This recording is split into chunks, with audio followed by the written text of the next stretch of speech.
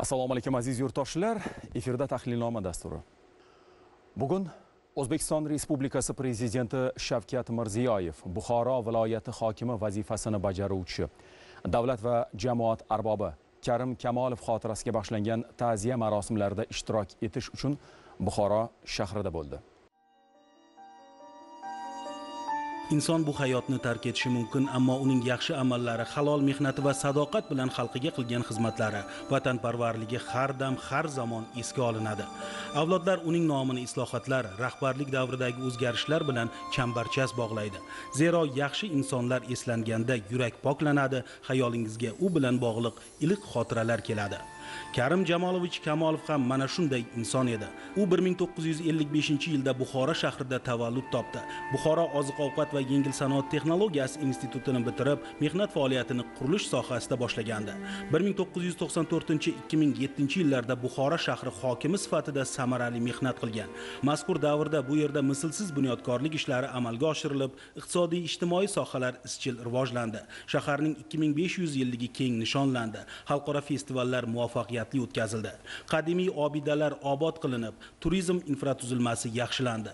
Oxirgi yillarda davlatimiz rahbari tashabbusi bilan boshlangan va viloyatda yuz berayotgan keng ko'lamli o'zgarishlar bunyodkorlik ishlarida ham karim kamolovning mehnati alohida bo'ldi. Karim jamolovichning boy bilim va tajribasi 2007-2017 yillarda 20 trest mas'uliyat cheklangan jamiyati raisi bo'lib ishlagan paytlarida qo'l keldi. U 2017 yildan yana buxoro shahri hokimi 2020 yil fevraldan hozirgacha buxoro viloyati hokimi vazifasini bajaruvchi sifatida mamlakatimizdagi islohotlarni amalga oshirishda fidokorona mehnat qildi. bugun o'zbekiston respublikasi prezidenti shavkat mirziyoyev buxoroga tashrif buyurib ta'ziya marosimlarida ishtirok etdi dastlab buxoro shahridagi hazrati imom qabristonida bo'lib karim kamolov qabrini ziyorat qildi marhum haqqiga qur'on tilovat qilindi أعوذ بالله من الشيطان الرجيم بسم الله الرحمن الرحيم وسيق الذين اتقوا ربهم إلى الجنة زمرا برحمتك يا أرحم الراحمين endi ishlatgan payti edi dastlabdan olgan hamma tajribalarida ko'rib juda rejalari katta edi mehnati bor edida. Lekin bundaqa halol bola yo'q. Begunoh odam edi begunoh birovga faqat mehnati bilan yurdida ollohda ham uxlamadi bu ham qanday bu boshimizga sinov sinov ko'p bo'lib ketgan. Xudo taolodan iltijo qilib har bir kunimizga shukur deyishimiz kerak yana oldimizda qanday sinovlar bor nimalar bor? Baribir o'zimiz o'zimizni davlatchiligimizni odamlarimizni ongini o'zgartirib odamzod o'zini tanasiga o'zini sog'lig'iga o'zi ham bir mas'ul va javobgar bo'lishi shart.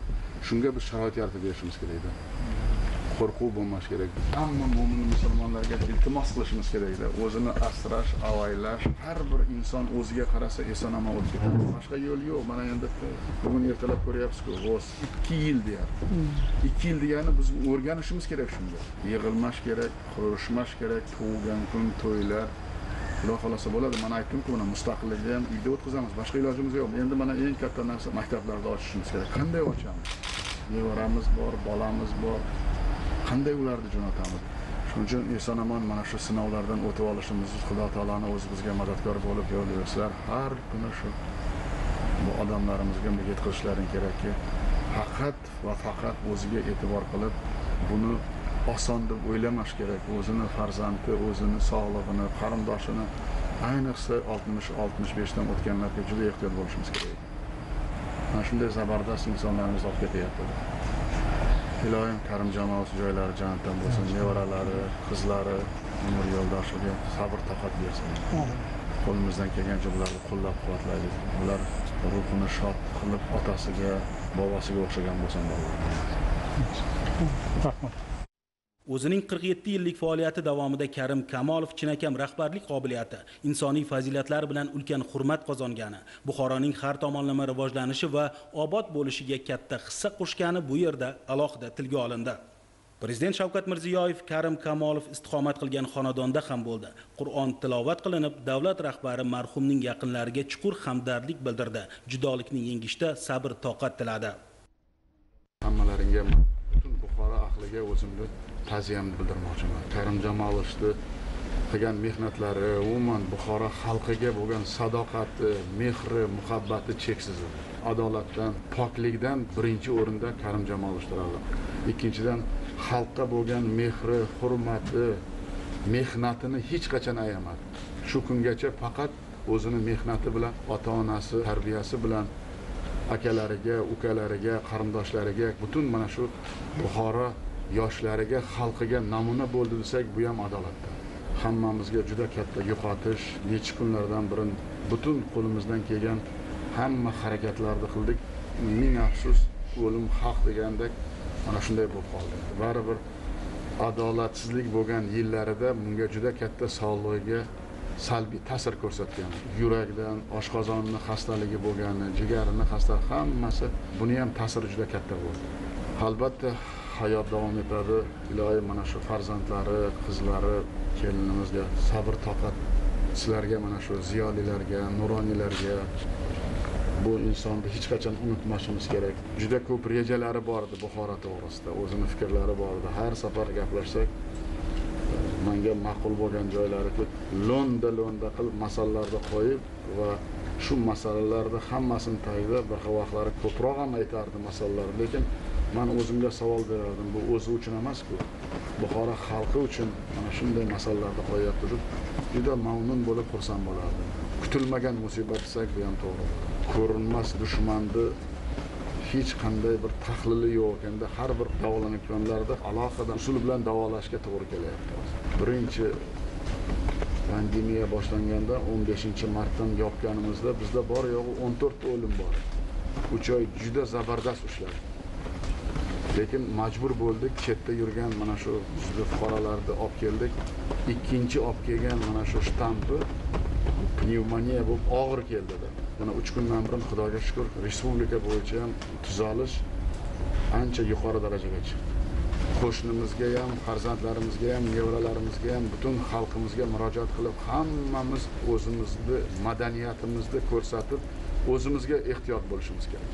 Bu dard birovni tanlamas ekan. Yoshi qaridi qanday oldimizda hali sinovlar turibdi buni faqat xudo taolo biladi. Shuning uchun shu sinovlarga hammamiz birgalikda tayyor bo'lib mana shu yo'qotishlardan to'g'ri xulosa qilib nuroniylar ham yoshlarga ham hammaga yetkazishimiz kerakda hali bu pandemiya tugagani yo'q lekin shu sharoitda yashash va ishlashga o'rganishimiz kerak. Iloyim joylari jannatdan bo'lsin. Toza pokiza inson mehnatkash buxoro xalqini sevakon va xalqqa sadoqat bilan xizmat qilgan inson deb har vaqti buxoro xalqini esida qoladi bu inson. Albatta o'zbekiston rahbariyatini ham esda bu inson hech qachon unutilmaydi va o'zbekiston tarixida ham mana shunday insonlar borligi albatta muhrlanib qoladi. Pandemiya inobatga olib hammani yig'olmaymiz lekin baribir mana shu voqea ham bizni hammamizni jipslashtirib birlashtirib hali oldimizda ko'p sinovlar bor ana shunga tayyor bo'lishimizni hech qachon unutmasligimiz kerakki hamma narsa o'zimizga bog'liq va o'zimiz harakat qilishimiz kerak. Yana bir marta mani nomimdan hammaga bandachilik bildirmoqchiman. Marosimda davlat rahbari marhum karim kamolov o'z faoliyati davomida xalq deputatlari viloyat va shahar kengashlari a'zolari qatorida hududning iqtisodiy ijtimoiy taraqqiyotiga xizmat qiladigan muhim qarorlarni ishlab chiqishda katta tashabbus ko'rsatganini alohida tilga oldi. Shuningdek uning vatanparvarligi buxoro xalqi uchun ko'rsatgan sadoqatini hech kim unutmaydi dedi. Albatta o'zini o'ylamay jamiyat manfaatlarini ustun bilib faoliyat yuritgan karim kamolovning davlatimiz va xalqimiz oldidagi buyuk xizmatlari munosib taqdirlandi. U do'stlik va mehnat shuhrati ordenlari bilan mukofotlangan edi. Prezident shavkat mirziyoyev marhum karim kamolovning turmush o'rtog'i farzandlari holidan xabar olib chuqur qayg'uda ekanini ta'kidlab hamdardlik bildirdi. Yaqinlari va farzandlari karim kamolovning amalga oshirgan ishlaridan har doim faxrlanib yurishi kerakligi. Prezident u o'zidan ko'ra xalqini ko'proq sevgan inson edi deya alohida ta'kidladi.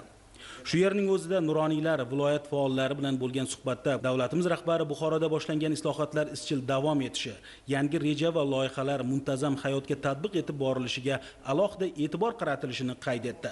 Barcha soha va tarmoqlardagi o'zgarishlar va yangilanishlardan ko'zlangan asosiy maqsad odamlar turmush farovonligini yaxshilash ekani ta'kidlandi. Buxoro azaldan ilm ma'rifat maskani ulug' avliyolarni ulg'aytirgan zamin bo'lgan. Davlatimiz rahbarining buxoroga tashrifi davomida bahovuddin naqshband maqbarasi ziyorat etilib qur'on tilovat qilindi.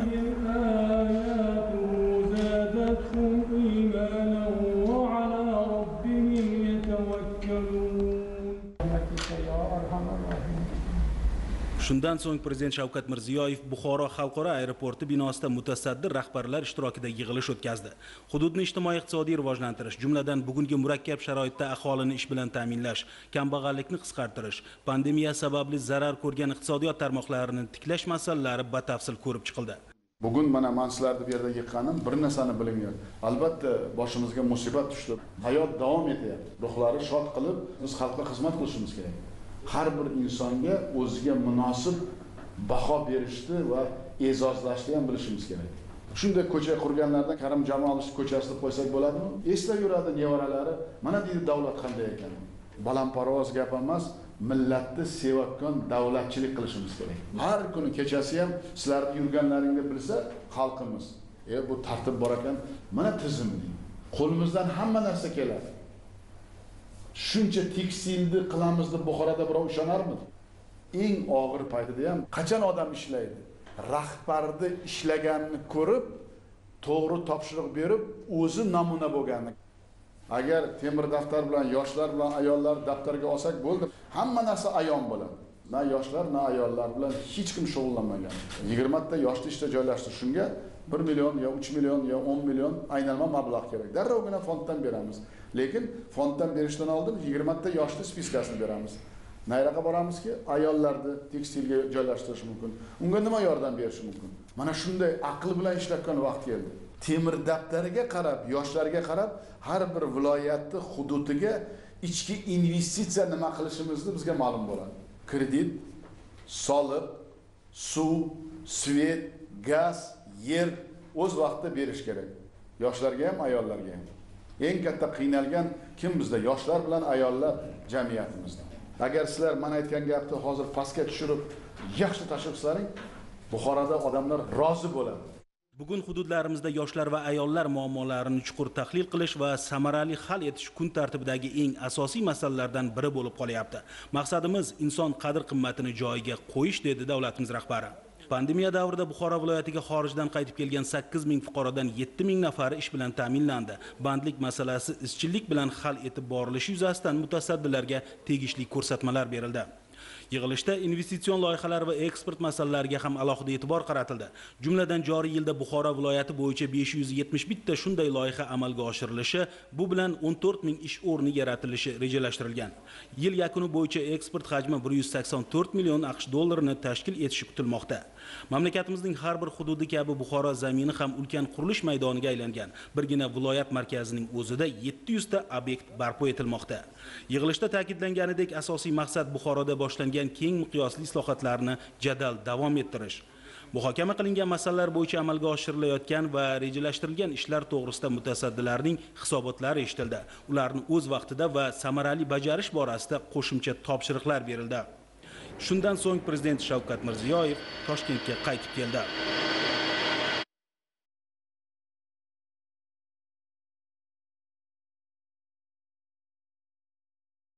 Bektemir metall konstruksiyalari, binokor hamda Metal Processing mas'uliyati cheklangan jamiyatlari, Prof Milk qo'shma korxonasi va Cooperation Lab tarmoqlar aro kooperatsiyani rivojlantirish markazi. Poytaxtimizning Bektemir tumanida joylashgan mana shu 5 yirik sanoat korxonasining hech qaysisi uzoq tarixga ega emas. Ba'zilari 2-3 yilning nari berisida tashkil etilgan bo'lsa, ayrimlari yaqinda faoliyat boshlagan. Muhimi, muhimi ular mana shu qisqa fursat ichida nafaqat Toshkentning, balki mamlakatimizning iqtisodiyotida mustahkam o'rin egalladi.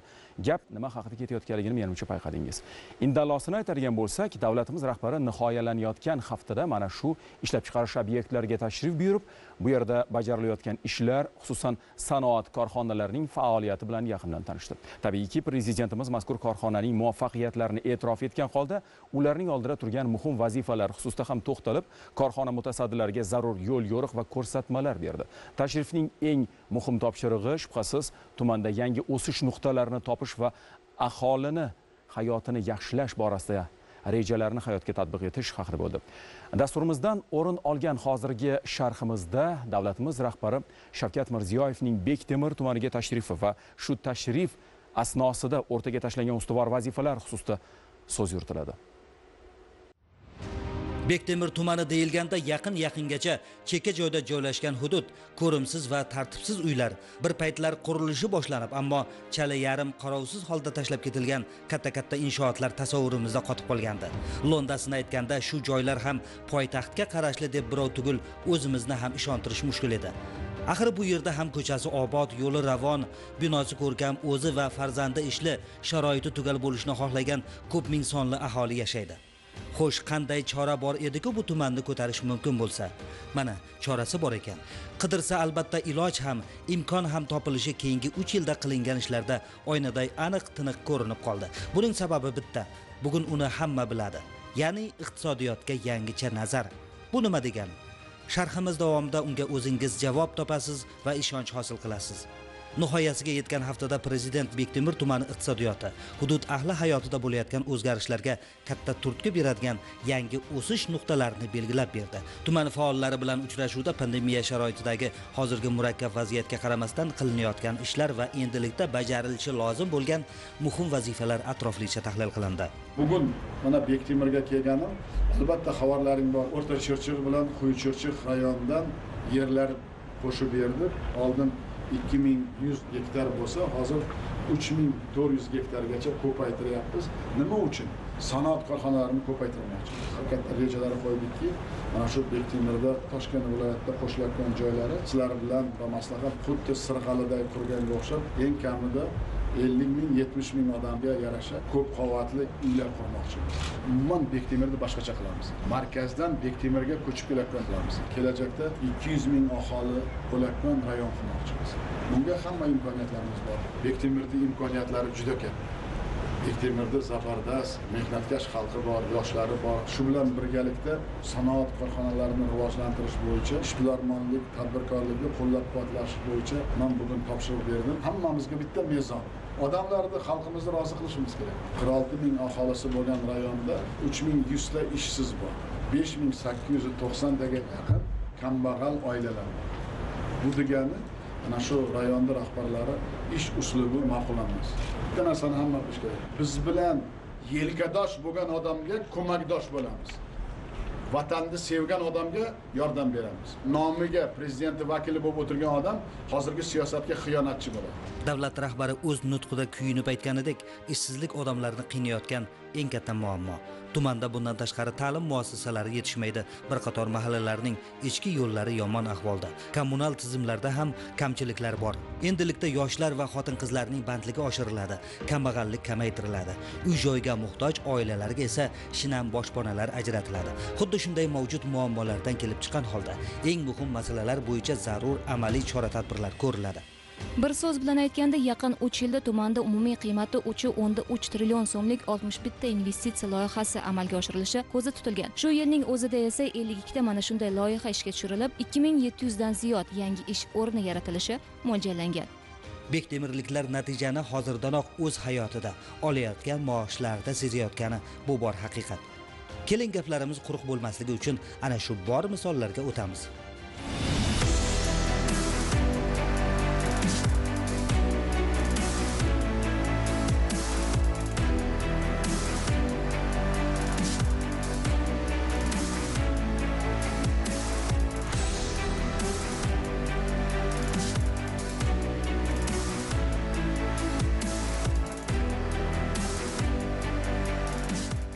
Ikki ming o'n sakkizinchi yilda ishga tushirilgan bektemir metall konstruksiyalari mas'uliyati cheklangan jamiyatining loyiha qiymati qirq sakkiz million dollar. Zavodda metallga qayta ishlov beriladi. Korxona yiliga 65 ming tonna ruhlangan metall 1600 kilometr yo'l to'siqlari 130 ming tonna payvandlangan quvur va 17 ming dona yoritish ustuni ishlab chiqarish quvvatiga ega. Bugungi kunda ushbu korxonada ishlab chiqarilgan metall konstruksiyalardan toshkent shahri va viloyatlarda keng foydalanilmoqda. Muhimi bandlik masalasi. Mana shu joyning o'zida 375 nafar muhandis va ishchining mehnat qilayotgani bugungi kun uchun zarur tashabbus ekanligini ko'rsatadi. Pandemiya tufayli vaqtincha to'xtab qolgan bunday korxonalar o'z faoliyatini tiklay boshladi lekin ular yana to'liq quvvatga chiqishi uchun vaqt va rag'bat zarur. Prezidentning qator farmonlari video selektor yig'ilishlarida belgilab bergan vazifalari asosida olib borilayotgan izchil ishlar tufayli ularning yanada barqaror faoliyat yuritishlari ta'minlanmoqda shu o'rinda bir mulohaza. Investitsiya bunday obyektlarni rivojlantirish uchun jon ozig'i. Dalillar shuni ko'rsatadiki o'tgan davrda toshkent shahriga loaqal 50 million dollar sarmoya kiritilmagan ekan. Bu yil yakuni bilan e'tibor bering. To'rt yarim milliard dollar investitsiya jalb qilinishi kutilyapti. Ana endi o'rtadagi tafovutni o'zingiz tasavvur qilavering.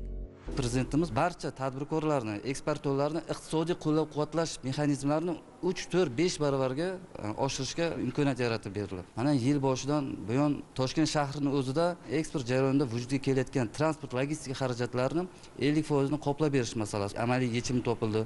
Undan tashqari toshkent shahrida faoliyat ko'rsatgan eksportyor korxonalar yoki bo'lmasa eksport qilmoqchi bo'lgan korxonalarda xorijda zarur bo'layotgan e, xalqaro standart va sertifikatlarni davlat tomonidan olib berish mexanizmi joriy etildi. Buning nuqtai nazaridan siz tasavvur qiling bitta eksportyor uchun xorijda kerak bo'lgan sertifikat narxi salkam besh ming o'n besh ming dollargacha narxlanadi. Mana shuni ham yuz foiz xarajatlarni yuz foiz subsidiyasini davlat tomonidan ajratib berildi. Bu bugungi kunda butun dunyoda iqtisodiy inqiroz bo'lgan holatda tadbirkorlarimiz uchun juda katta e, iqtisodiy salohiyat bo'ldi. Natijasida nima bo'ldi? Misol qilib aytish mumkin ikki ming o'n to'qqizinchi yilda e, toshkent shahri uchun belgilangan eksport rejasi ikki ming yigirmanchi yilda bir yarim baravar ko'proq reja qilib olgan edik. Natijada mana ikki ming yigirmanchi yilning yetti oyligi e, fakti bo'yicha toshkent shahrining eksport natijasi bir yuz sakkiz foizga bajarildi.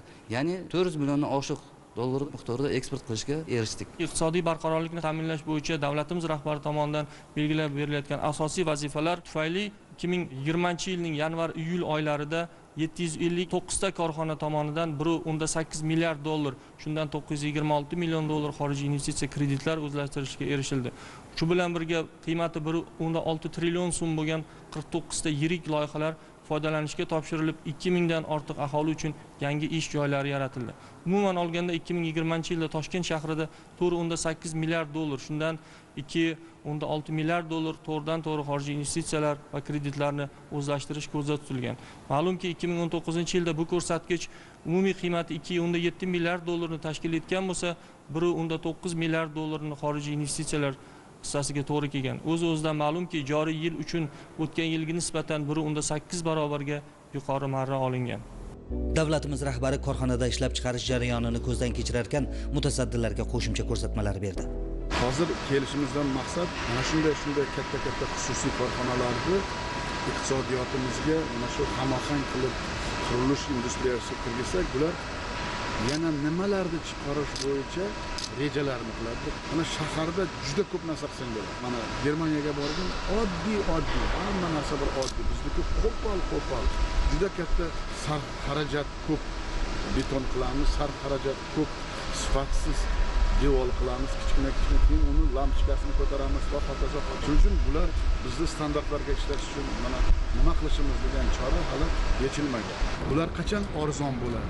Bularga bir sharoit yaratsak. Buni rivojlanishini har kuni rejasini o'ylashlari kerak. Hududlardagi mana qurilishlarga obod mahallamizga o'n besh foiz e'tibor o'zbekistonda metall chiqdi degan gapni o'zi hammamizga g'urur iftixor bag'ishlaydi. Sekin sekin bunga o'xshagan korxonalarga klaster qilish kerak chindan ham klaster ilg'or tajriba sifatida milliy taraqqiyotimizda alohida o'rin tutmoqda.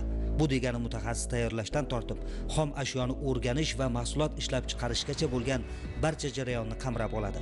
Prezident ko'rsatma bergan germaniya tajribasiga asoslanadigan sanoat klasteri aynan shu maqsadlarga xizmat qiladi. Aytish o'rinliki korxonada metall konstruksiyalarni issiq haroratda ruhlash italiyaning zamonaviy uskunasida xalqaro me'yorlar va sifat standartlari darajasida amalga oshirilmoqda. Bunday mahsulotlar chidamliligi ko'rimliligi va o'rnatish jarayonida qulayligi bilan afzal. Shuningdek bu yerda xitoy janubiy koreyadan keltirilgan texnologiyalar o'rnatilgan.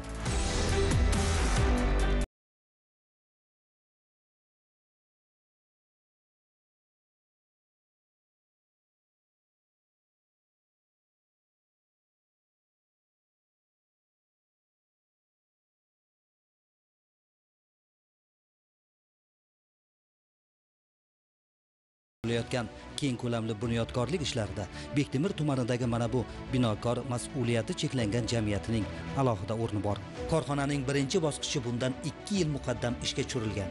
Ikkinchi bosqichi esa yaqinda faoliyat boshlaydi. Hozir yiliga bir yuz oltmish besh ming kvadrat metr mahsulot ishlab chiqarayotgan bo'lsa korxona to'liq quvvatga chiqqach yiliga yana ikki yuz ming kvadrat metr qurilish paneli tayyorlanadi. Uni joriy yilning to'rtinchi choragida foydalanishga topshirish rejalashtirilgan. Yangi majmuaga germaniya italiya rossiya polsha va ispaniya kompaniyalari bilan hamkorlikda zamonaviy texnologiya va dastgohlar keltirib o'rnatilgan. Uy qurilish sohasida biz bor tajribamizni yigirma besh yil yo'q qilib barbod qildik na quruvchi paydo bo'ldi na kranovщик paydo bo'ldi. Biz boshlaganimizda toshkentda o'nta высотный kran yo'q edi. Besh yuzta uyni besh yilda quraman deb va'da berganman saylovoldi dasturimda. Ikki yarim yilda qurdik biz faqat sirg'alida. Bugun aholi uchun ko'p qavatli uylarni bunyod etishda bunday temir beton panellar keng qo'llanilmoqda. Buning o'ziga yarasha sabablari bor va bu binokorlikda yangi tajriba samarador yechim sifatida o'zini to'la oqlashga asoslar ham mavjud. Bu panellarni orasiga bazalt mahsuloti qo'yilgan. Ya'ni issiq sovuqni u ushlab turadi. Ya'ni yozda issiqni o'tkazmaydi e, qishda sovuqni o'tkazmaydigan mahsulot. Bu e, panellar bir biriga sharnir sifatida bog'lanadi va yer qimirlashda bu zilzilani kamaytiradi. Ya'ni silkinishni o'zi so'ndiradi. To'qqiz yarim ball darajasida qimirlatib beruvchi apparatlarni uskunalarni o'rnatgan holda Э, chet ellik loyihachilar chet ellik mutaxassislar э, bizning o'zbekistonlik mutaxassislar bilan birgalikda uni tekshiruvdan o'tkazilgan. Panel tez quriladi tez bitadi aholiga topshirish imkoniyati tez bo'ladi. Hozir sergeli tumanida mana o'n ikkita dom qurilgan sakkiztasi mana biz turgan hududda yana to'rttasi boshqa hududda. Yana shunday imoratlardan olmazorda qurilayotganini ko'rishingiz mumkin mirzo ulug'bekda qurilayotganini ko'rishingiz mumkin. Aytmoqchimanki respublikamizda ham boshqa viloyatlarda ham qurilish mo'ljallanyapti germaniyani texnologiyasi asosida va ularni asbob uskunalarida ishlab chiqarilyapti. Va kecha kuni e, prezidentimizni bektemirga qilgan tashriflarida o'sha tadbirkorlarga va shuni ishlab chiqaruvchi tadbirkorlarga shunday imkoniyatlar yaratib berdilar sharoitlar o'zlarini fikrlarini berdilar va shunaqa zavodlarni ko'paytirish bo'yicha o'zlarini takliflarini berdilar. Hozir ehtiyoj bunday uylar ko'p bo'lgandan keyin bunaqa panellarni ishlab chiqarish ko'paytirish kerak. Bu o'z o'zidan zavodni kattalashtirish kerak va raqobat bo'lishi uchun yana shunaqa qo'shimcha zavodlar qurilishi bo'yicha ko'rsatmalar berdilar. Yangi joylar ajratish bo'yicha ko'rsatmalar berdilar.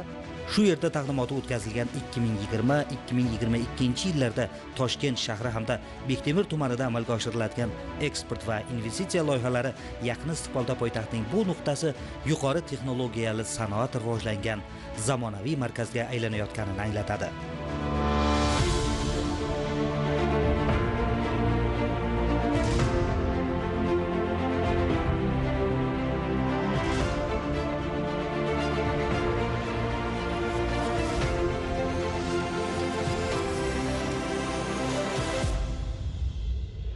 Mamlakatimizda chorvachilik bilan birga go'sht va sutni qayta ishlash tarmog'i ham kompleks rivojlantirilmoqda. Xususan bugungi kunda sutni qayta ishlovchi 600 dan ziyod korxona faoliyat ko'rsatmoqda. Ularda tayyorlanayotgan sara mahsulotlar elimiz dasturxonidan joy oldi. Xorijga ham eksport qilinyapti. Shu oy boshida ishga tushirilgan prof milk qo'shma korxonasining loyiha qiymati 3 million dollar. Majmua shvetsariyaning tanotrade kompaniyasi hamkorligida zamonaviy texnologiyalar bilan jihozlandi. Bu yerda 50 kishining ish bilan bandligi ta'minlangan. Korxonada yiliga 1,5 ming tonna mahsulot pishloqning o'nga yaqin turi ishlab chiqariladi. Joriy yilda esa eritilgan pishloq bu qatorni to'ldirishi rejalashtirilgan. Prezident ishlab chiqarish jarayonini ko'zdan kechirarkan bu faoliyatning alohida jihatlariga e'tibor qaratdi hamda korxonani barqaror xom ashyo bilan ta'minlash mahsulotlar turini ko'paytirib yangi bozorlarni o'zlashtirish bo'yicha ko'rsatmalar berdi. Albatta bu tashabbus qishloq xo'jaligi mahsulotlarini qayta ishlashda o'ziga xos yangi tajriba.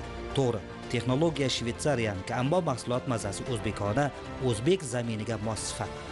Jahon bozori esa bunday betakror ta'm va yuqori sifatni doimo qadrlaydi. Korxonada taqdim etilgan bartek trade kompaniyasi tomonidan import o'rnini bosuvchi ehtiyot qismlar ishlab chiqarish loyihasi sanoatda lokalizatsiya siyosatining amaliy natijalarini namoyon etuvchi yana bir muhim qadam bo'lishi aytilmoqda.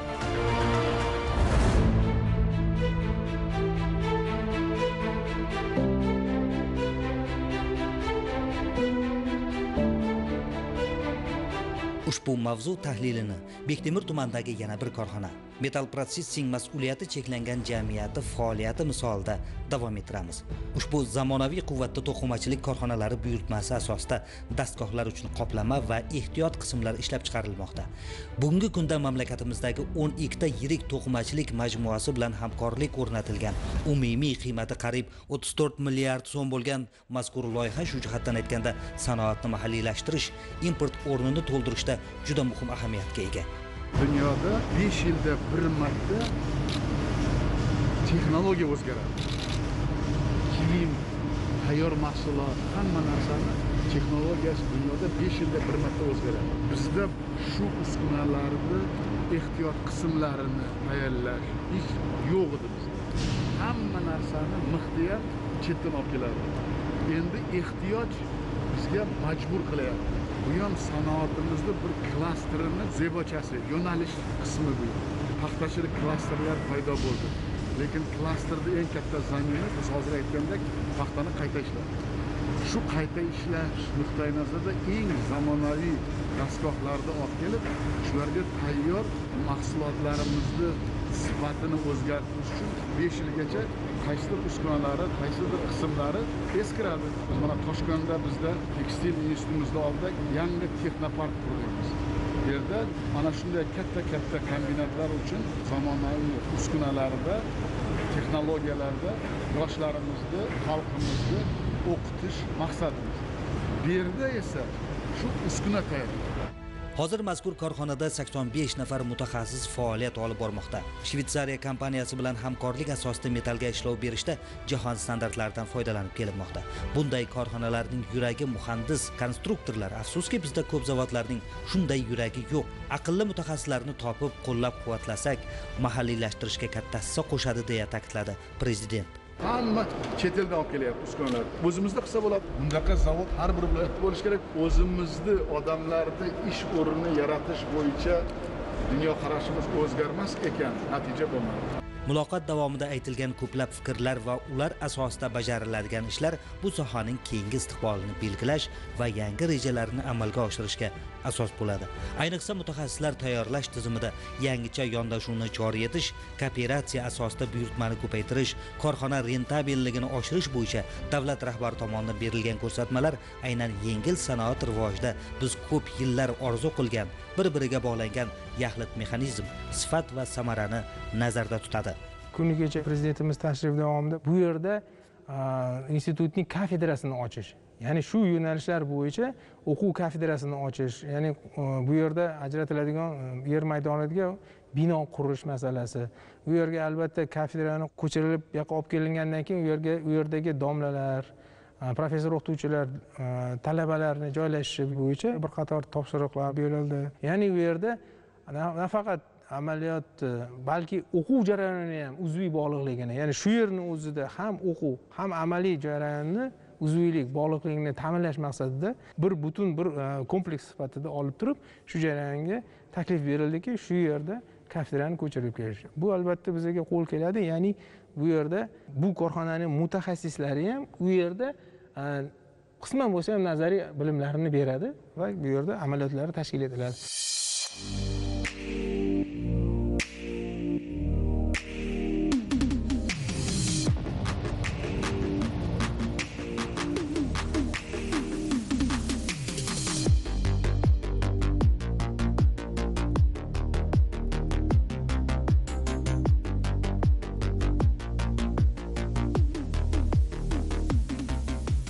Tashrifning yana bir muhim manzili bu corporation lab tarmoqlararo kooperatsiyani rivojlantirish markazi.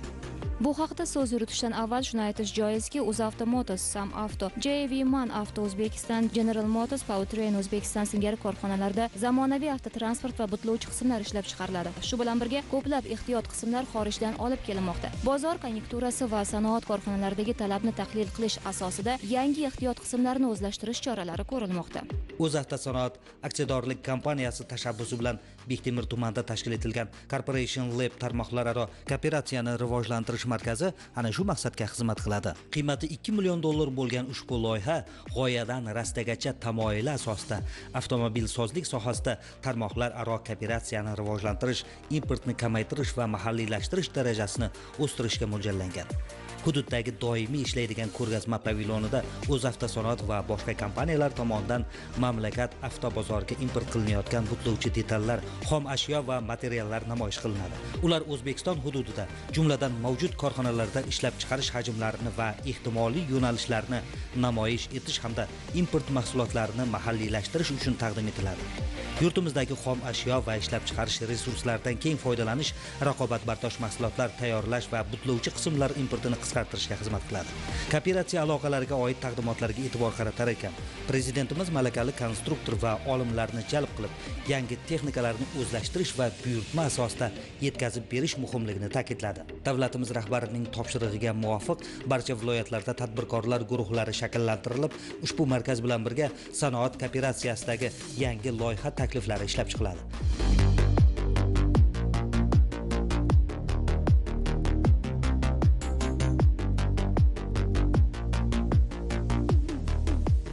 Bektemir tumaniga tashrif davomida davlatimiz rahbari mamlakatimizda ishlab chiqarilishi loyihalashtirilgan maxsus avtomobillarni ko'zdan kechirdi. Ma'lumki mamlakatimizda yengil avtomobillar yuk mashinalari va maxsus texnikalar ishlab chiqarilib aynan shu yo'nalishdagi segment bo'sh edi. Qo'shni davlatlarda ham bunday avtomobillarga ehtiyoj bor. Shu maqsadda tajriba tariqasida volkswagen skoda va isuzu liniyasida maxsus mashinalar namunalari tayyorlandi. Prezidentimiz bunday yangi yo'nalish import o'rnini to'ldirish va eksportni kengaytirishda muhim ekanini ta'kidlab kerakli ko'rsatmalar berdi. Aytish o'rinliki yaratilgan yangi tizim pandemiya sharoitida yurtimizda mana shunday tez tibbiy yordam mashinalarini ishlab chiqarish imkonini berdi. Mana bu avtomashinani bir ko'zdan kechiradigan bo'lsak uni e, tashqi ko'rinishi ixchamligiga qaramasdan e, ichida mana maxsus bemorlarni yotqizib yonida demak davo choralarini birinchi yordam ko'rsatish uchun to'liq mana jihozlash uchun kerakli joylar ham ajratilgan. Qolaversa e, bemorga to'g'ridan to'g'ri e, nafas berish uchun kislorod ballonlari bilan ta'minlangan va e, mana tez tibbiy yordam xizmatidagi feldsher bo'ladimi vrach bo'ladimi maxsus o'rindig'i mavjud va bemorni oldida to'g'ridan to'g'ri yordam berish uchun joy muhit mavjud bu mashinada. Bu mashinani demak yurishi qolaversa manyovr qilish jarayonidagi yumshoqligini endi damas bilan solishtirib ham gapirib ham o'tirmasa bo'ladi bu hammamizga ma'lum. Mana isuzu avtomashinasini ko'radigan bo'lsak e, demak bu avtomashinani ichini yanali kengligini ko'rsak bo'ladi. Qolaversa bundan tashqari mana e, maxsus e, bemorlarni tashish uchun mo'ljallangan o'rindig'idan tashqari alohida o'tirib tashish uchun bemorlarga mana kreslolar ham mavjud ekan.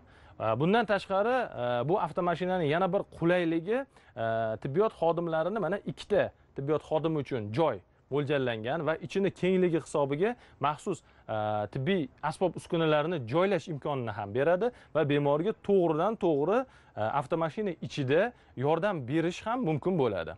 Qolaversa e, statsionar turgan kislorod ballonidan tashqari mana bunda ko'ryapmiz yonida demak mobil kislorod balloni ham mavjud. Ya'ni bemorga kislorodga to'g'ridan to'g'ri ehtiyoj bo'ladigan bo'lsa yo kreslo diga o'tkazgan holatda yo aytaylik mana mana bu katalkaga yotqizilgan holatda avtomashinadan uzilganda ham oldingidagi ambu qopida emas yonida demak transportirovka qilinadigan mobil kislorod moslamasi bilan to'g'ridan to'g'ri kislorod berish imkonini ham beradi.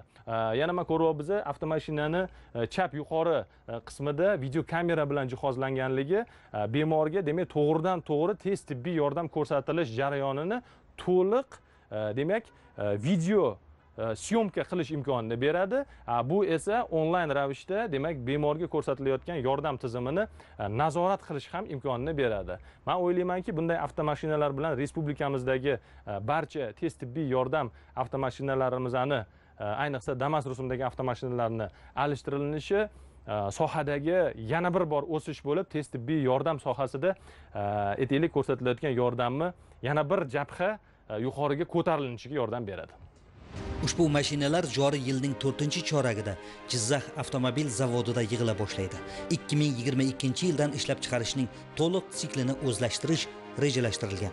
Tashrifning o'ziga xos jihatlaridan biri shundaki davlatimiz rahbari cooperation lab markazining o'zida hududlarda sanoat kooperatsiyasi va mahalliylashtirishni kengaytirish masalasi bo'yicha yig'ilish ham o'tkazdi. Chunki hozirgi kunda mamlakatimiz sanoatida mahalliylashgan mahsulot hajmi atigi to'rt foizni tashkil etmoqda. Bektemirda ko'rib chiqilgan va muhokama etilgan ko'plab masalalar aynan ushbu mavzuga taalluqli bo'lgani uchun ham prezidentimiz bunga barchaning e'tiborini qaratdi. Kuni kecha mahalliy ishlab chiqaruvchilarni qo'llab quvvatlashga doir qarorni imzoladim. Endilikda davlat xaridlarida mahalliy mahsulotlarga ustuvorlik berib ishlab chiqarishni yanada rag'batlantirdik.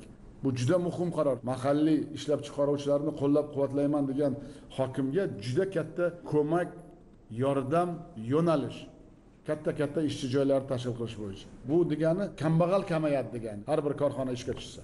Bitta ishsiz kamayadi. Raqobatbardosh sifatli tannarxini kamaytirgan mahalliy mahsulot chiqarish kerak. Shuningdek mahalliy mahsulotlarga import tovarlarga nisbatan o'n besh foizlik narx preferensiyasi beriladi. Bu hech qachon biz bundaqaga bormaganmiz. Viloyat hokimlari bir oy muddatda hududda ishlab chiqarilayotgan barcha barcha sanoat mahsulotlarini elektron kooperatsiya portaliga joylashtirishni ta'minlashlaring shart. Bu juda muhim masala. Agar mana shu elektron portalga qancha ko'p joylashtirsak shuncha kam korrupsiya aralashadi yerga yil yakuni bilan tarmoq va hududlardagi lokalizatsiya darajasidan kelib chiqib har bir viloyat va hudud tarmoq rahbarlariga baho beramiz. Proyektniy gruppalar tuzish kerak konsultorskiy byurolar tuzish kerak loyiha byurolar tuzish kerak shuncha investitsiya kelyapti. Har bir soha bo'yicha eng katta narsa ilm proyekt qilayotgan odamlar kerak ilmli konstruktorlar kerak. Agar shuni qilolsak yil yakunigacha. Birinchi qadam qo'yamiz. Kelgusi yil yangi yangi marralar qo'yamiz.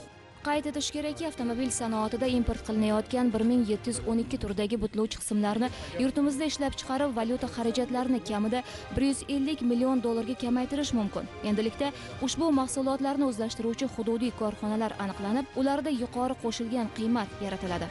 Davlat rahbari ta'kidlaganidek tarmoqlar va hududlar o'rtasida o'zaro kooperatsiya bo'lmasa ekan qo'shilgan qiymat zanjirini va yangi industrial taraqqiyotni tasavvur ham qilib bo'lmaydi. Bektemirda namoyon bo'lgan va kelgusida o'zlashtiriladigan tajribalar aynan shunday maqsadlarga xizmat qiladi. Joriy yil 1 dekabrga qadar 500 milliard so'm qo'shimcha zaxira shakllantirishga to'liq imkoniyat borligi aniq hisob kitob qilingan. Avgust oyida 20 ming sentyabrda 26 mingta korxona faoliyatini to'liq quvvatga olib chiqishi lozim. Xo'sh shakllantirilgan shuncha mablag' qayerga sarflanadi yoki 26 mingta korxona faoliyatini to'liq quvvatga olib chiqishdan ko'zlangan pirovard maqsad nima? Bu kabi savollarga lo'nda qilib javob berish mumkin. Yangi ish o'rinlarini yaratish ehtiyojmand aholini qo'llab quvvatlash kambag'allikni qisqartirish hamda barcha sa'y harakatlarning mahsuli o'laroq odamlarni bugungi hayotdan rozi qilish. 20 avgust kuni o'zbekiston respublikasi prezidenti shavkat mirziyoyev raisligida mutlaqo yangi tizim tartib va yondashuvlar asosida iqtisodiy faollikni oshirish hamda har bir tuman va shaharga qo'shimcha zaxira yaratish chora tadbirlari yuzasidan o'tkazilgan video selektor yig'ilishi tafsilotlari bilan tanishar ekansiz. Mana shunday oddiy va jaydari xulosaga kelish mumkin.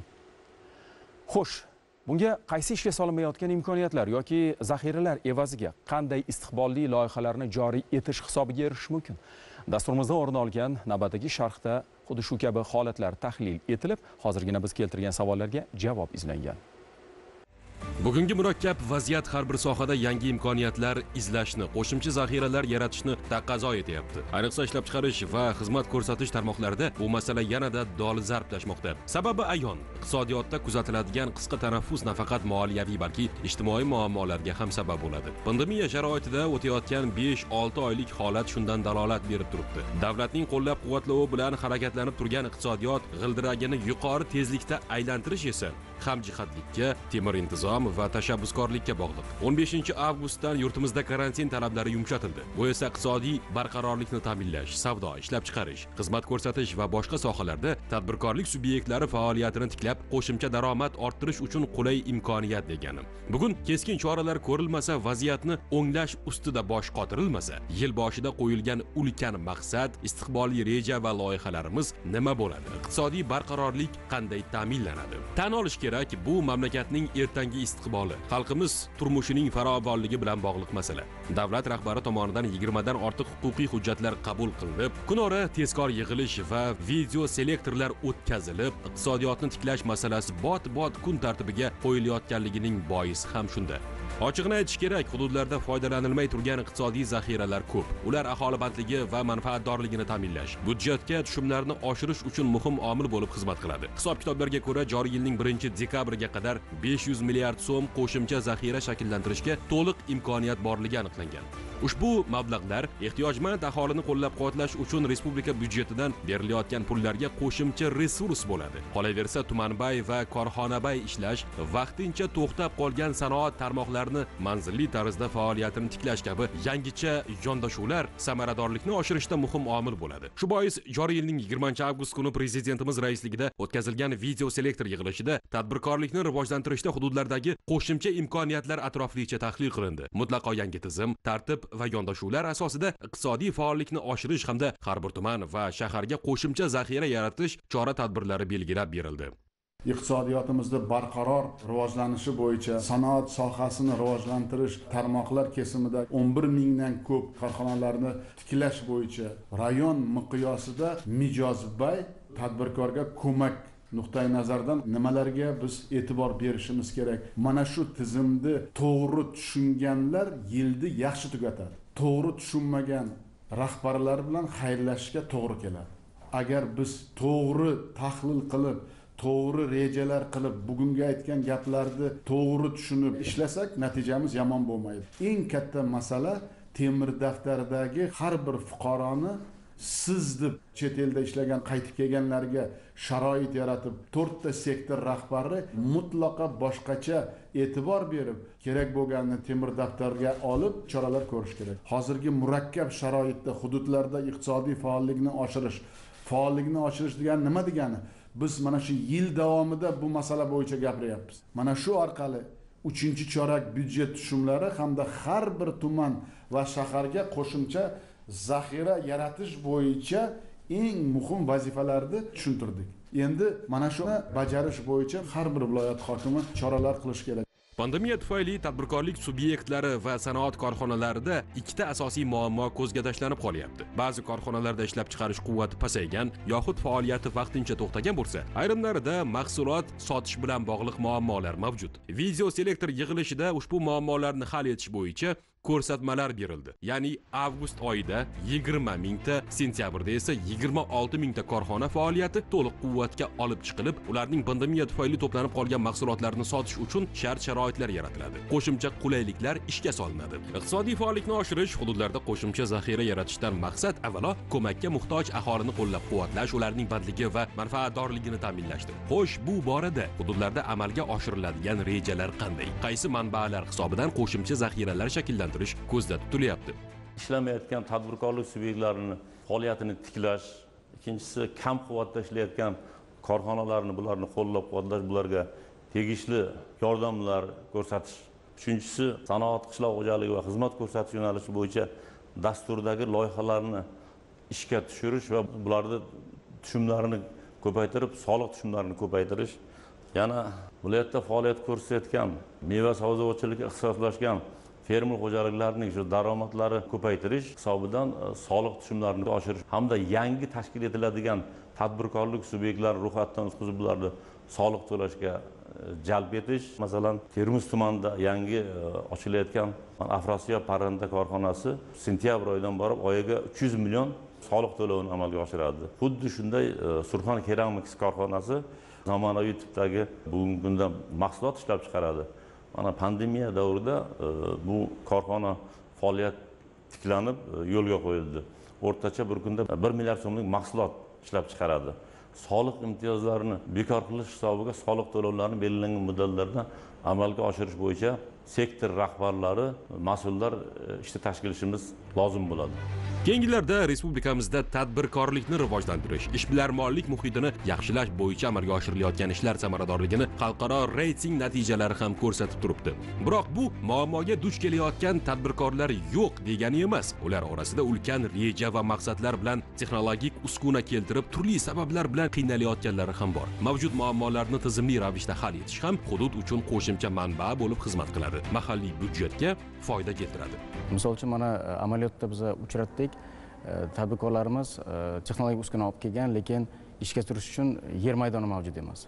Shunaqa holatlarda auksion orqali unga yer uchastkasini ajratirish masalasi ko'rilyapti. Bundan tashqari ishlab chiqarishni kengaytirish uchun tadbirkorlarimiz hozir uskunani olib kirganda misol uchun kommunikatsiyaga ulanishda ularda muammolar tug'ilib qolishi mumkin. Chunki ilgari olingan texnik shartlarga ko'ra ular oladigan elektr energiya gaz yoki suv miqdori oshib ketadi. Chunki yangi qo'shimcha texnologik uskuna qo'yilgandan keyin e, tabiiy ravishda bu resurslarga ham ehtiyoj oshadi. Shu sababli e, texnik shartlarni olib berish yoki ruxsat berish bilan bog'liq bo'lgan hujjatlarni olishda ham biznes ombudsman aralashib tadbirkorlarimizga ushbu ishlarni tezlashtirishda yordam berishadi. Nima uchun bu soha muhim? Sababi bitta texnologik uskuna olib kelib qo'yish bu tadbirkorga faqat manfaat olib kelmaydi multiplikativ effekt deydi iqtisodchilarimiz. Ya'ni tadbirkorlik e, subyekti agar shu uskunani ishga tushiradigan bo'lsa qo'shimcha ish o'rinlarini yaratishga olib keladi. Ikkinchidan ishlab turgan tadbirkorlik subyekti byudjetga soliqlarni to'lashni boshlaydi. Va uchinchidan tashqi savdoga kirishga ya'ni eksport qilishga juda o'zini ijobiy ta'sirini ko'rsatadi.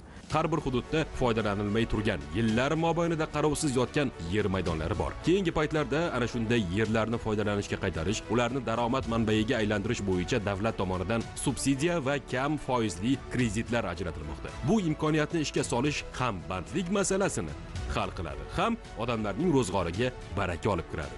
Forish tumanida 100 ta quduq qazilib оборотdan chiqib ketgan 2700 gektar yerda 6 ta tokzor tashkil etilgani shundan dalolat beradi.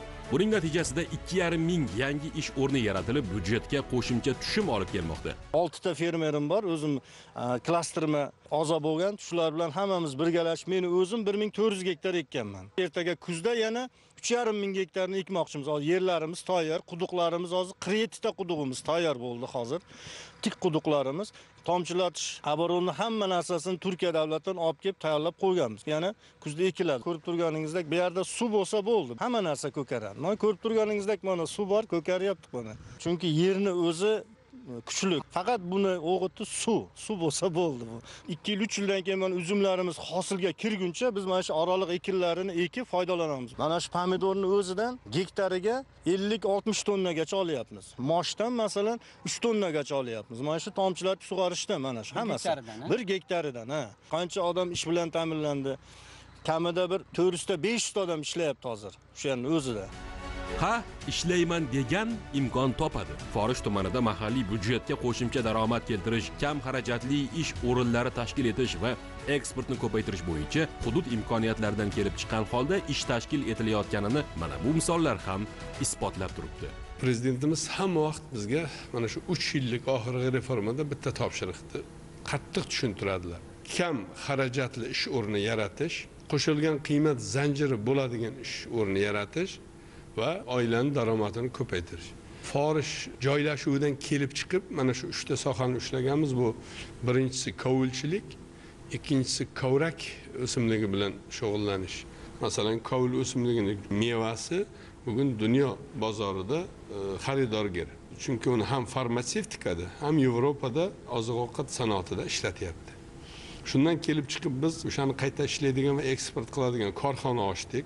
O'n sakkizinchi yili to'qqiz yuz yetmish ming dollarga eksport qilindi. ikki ming o'n to'qqizinchi yilda bir million ikki yuz yigirma ming dollarga eksport qilindi. Bu yil bugungacha bir yuz yigirma besh ming dollar eksport bo'ldi. Biz shundan kelib chiqdikki bu kavul o'simligi bilan shug'ullanish kam xarajat tannarxi yo'q. Chunki bunga dori bermaymiz ishlov bermaymiz traktor bilan. Elektr tok xarajati yo'q. Tabiiy holda o'sadi ikkinchisi bu kavrak o'simligi bu ham juda nozik ekan. Buning shirasini olib eksport qilish masalasi e, yo'lga qo'yganmiz. Afg'oniston bilan qo'shma korxona qildik. o'n sakkiz o'n to'qqizinchi yili afg'onlar bilan ishladik va o'zlashtirib bo'lgandan keyin hozir yigirmanchi yil biz o'zimiz alohida mana shu kavrak o'simligi bilan shug'ullanyapmiz. ikki ming o'n sakkizinchi yil bir tonna kavrak shirasini eksport qildik. o'n olti ming dollarga. O'n to'qqizinchi yili bir tonna sakkiz yuz kilogramm eksport qildik qirq olti ming dollarga. Dunyo bozorida buning ham narxi baland. Demak ellik sotikdan ikki ming to'rt yuz qirq uchta dehqon xo'jaligi ochdik. ikki ming sakkiz yuz yettita uzumchilikda ish o'rni ikki ming to'rt yuz qirq uchta sakkiz yuz qirqta bu o'zini o'zi band qilish sanoatdagi bilan qo'shilib besh ming uch yuz sakson bitta xonadonga olti yarim mingta ishchi o'rni bizda yaraladi bu degani ikki ming yigirmanchi yilda ishsizman menga ish yo'q deydigan odam qolmaydi. Sababi ish o'rni me'yoridan ortiq bizda yaratiladi. Bunday tashabbuskorlik ya'ni o'z aravasini o'zi tortish davr talabi ekanligi izlagan imkon topa olishi samarqand viloyatining kattaqo'rg'on tumanida ham yaqqol namoyon bo'lyapti. Aylanmadan chiqqan yerlar foydalanishga qaytarilib uzumzor va bog'roqlar barpo etilmoqda. Shu hisobdan yangi ish o'rinlari hamda mahalliy byudjetga qo'shimcha daromad yaratilyapti. Kattaqo'rg'on tumanida biz o'tgan yili o'n gektar joyda limon klasteri tashkil qilgandik unga uch ming atrofidagi xonadonlarning issiqxonalarini birlashtirib bergandik. Endi bu yil yana shunga qo'shimcha bir ming bir yuzta xonadonda ikki uch sotixlik shuning bir sotig'ini mehnat vazirligining subsidiyasi orqali qolgan ikki sotig'ini yoki bir sotig'ini imtiyozli kreditlar bilan ya'ni kambag'al oila bir tiyin ham sarflamasdan lekin ikki yoki uch sotlik limonxonaga ega bo'lyapti. Buni ham mana bir ming bir yuzta xonadonga ko'chatni ekib beramiz tayyor daromad keltiradigan narsa bo'ladi. Ellik gektar joyga esa har biri bir gektardan ellikta lot qilib tadbirkorlar orasida tanlov o'tkazib ellik gektar limonxona mana shu qurilishi hozir boshlangan davom etyapti. Buni ham mana shu kuz mavsumida limon ko'chatlari ekiladi. Mana shuning hisobidan ham uch mingdan ortiq odam mehnat bilan doimiy ish bilan ta'minlanadi. Kattaqo'rg'on tumanida kambag'allikni qisqartirish byudjet tushumlarini ko'paytirish bo'yicha yaxshi natijalarga erishilyapti. Xususan kattaqo'rg'on klubnika ishlab chiqarish kooperativi tashkil etilib 2021 yil hosili uchun qulupnayzorlarni ming gektarga yetkazish hamda yangicha hududlar asosida ish tashkil etish ko'zda tutilmoqda. Bir so'z bilan aytganda tumanda o'sish nuqtalari aniqlanib shu asosda loyihalar ishlab chiqilyaptiki bu hademay hududda ishsizlik muammosi to'la barham topishiga xizmat qiladi. Uch yuz yetmish uch gektarga yigirmata quduq qazib e, yana shu bozor tashkil qilish bo'yicha ishlar qizg'in davom etyapti. Mana bu yerda ham biz endi uch yuz yetmish uch emas to'rt yuz gektar qilmoqchimiz. Ya'ni sakkiz yuzta oila ellik sotiqdan bu yerda ham daromad ega bo'ladi. Bundan tashqari to'rt yuz gektar joyga yana intensiv tomchilab sug'orishga asoslangan tokzorlar borib ketyapmiz. Buni ham aholiga endi uzoq muddatga ijaraga to'rt yuzta oilaga bir gektardan bersak o'ttiz qirq tonna kamida mayizbob uzum va gektaridan sakkiz tonnadan mayiz olsa ellik ming so'mdan hisoblangan to'rt yuz million so'm bir gektardan daromad oladi. Chorvachilik sohasi bo'yicha kattaqo'rg'onda ancha tajriba bor. Ikki yil davomida uch ming boshdan ortiq chetdan naslli mol olib keldik. Bularni va aholini qo'lidagi qoramollarni zotini naslini yaxshilash uchun yigirma to'rtta e, sun'iy urug'lantirish markazlari tashkil qirq uchta mutaxassislarni bu yerda ham ish bilan ta'minladik. Baliqchilik kattaqo'rg'onda katta istiqbolga ega chunki bu tomonimizda kattaqo'rg'on suv ombori bu yoqda oqdaryo suv ombori bor. Yana tuman oqdaryo va qoradaryoning o'rtasida joylashgan juda ko'p baliqchilik sun'iy havzalar yaratish sharoiti bor. Zovurlarni yuz metr ikki yuz metrdan bo'lib berdik. Elliktadan ortiq kambag'al oilalarga. Buni ham misol uchun imtiyozli kredit asosida ular pulni sarflagan yo'q. Biz setkasini o'zim ikki tomoniga setka qilib ichiga ellik kilogrammdan chovoq tashlatib berdik kuzda har bir mana shu oila to'rt tonnagacha baliq oladi. Bu ham oilasiga qo'shimcha daromad. Mana shularni to'liq ishlatish hisobiga o'n bir ming to'rt yuz ishsiz bo'lgan bo'lsa biz o'n ikki ming ikki yuz saksonta ish o'rni yaratish mana shular hisobiga imkoniyatimiz to'liq bor. Va bu bilan biz o'sha uch ming besh yuz ellik oltita temir daftarga kirgan oilalarni ishsizlarni va qo'shimcha mehnat bozoriga kirganlarni to'liq ish bilan ta'minlab yil oxiriga bunday oilalar e, qolmasligi kerak. Iqtisodiy faollikni oshirish tadbirkorlikni rivojlantirish ko'p jihatdan quyi bo'g'in rahbarlariga ularning tashabbuskorligiga bog'liq. Bugungi pandemiya sharoitiga qaramasdan orolbo'yi mintaqasida ham yangi yangi tashabbuslar samaradorligi yuqori bo'lgan loyihalar bo'y ko'rsatmoqda. Bugun sanoat oqa va suvidan foydalangan holda qishloq xo'jaligi mahsulotlari yetishtirmoqchi bo'layotgan taxiatoshliklarning uddaburonligiga qoyil qolmaslikning iloji yo'q. Mazkur tumanda issiqlik elektr stansiyasining tashlanma issiq suvidan foydalanib 54 gektarda 7 ta gidroponika issiqxona barpo etilmoqda. Buning hisobiga joriy yilda 500 ta ish o'rni yaratiladi va qo'shimcha soliq manbai paydo bo'ladi. Bu gidroponikalarni issiqlik elektr stansiyasi yonida e, tashkil qilishdan asosiy maqsad bu tadbirkorlarimizni xarajatlarini tejash. Masalan oddiy qilib aytadigan bo'lsak bir gektar gidroponikaga tabiiy gaz uchun bir mavsumda 100 million xarajat qilinadigan bo'lsa issiq suv uchun esa ellik million so'mga ham yetmaydi xarajat.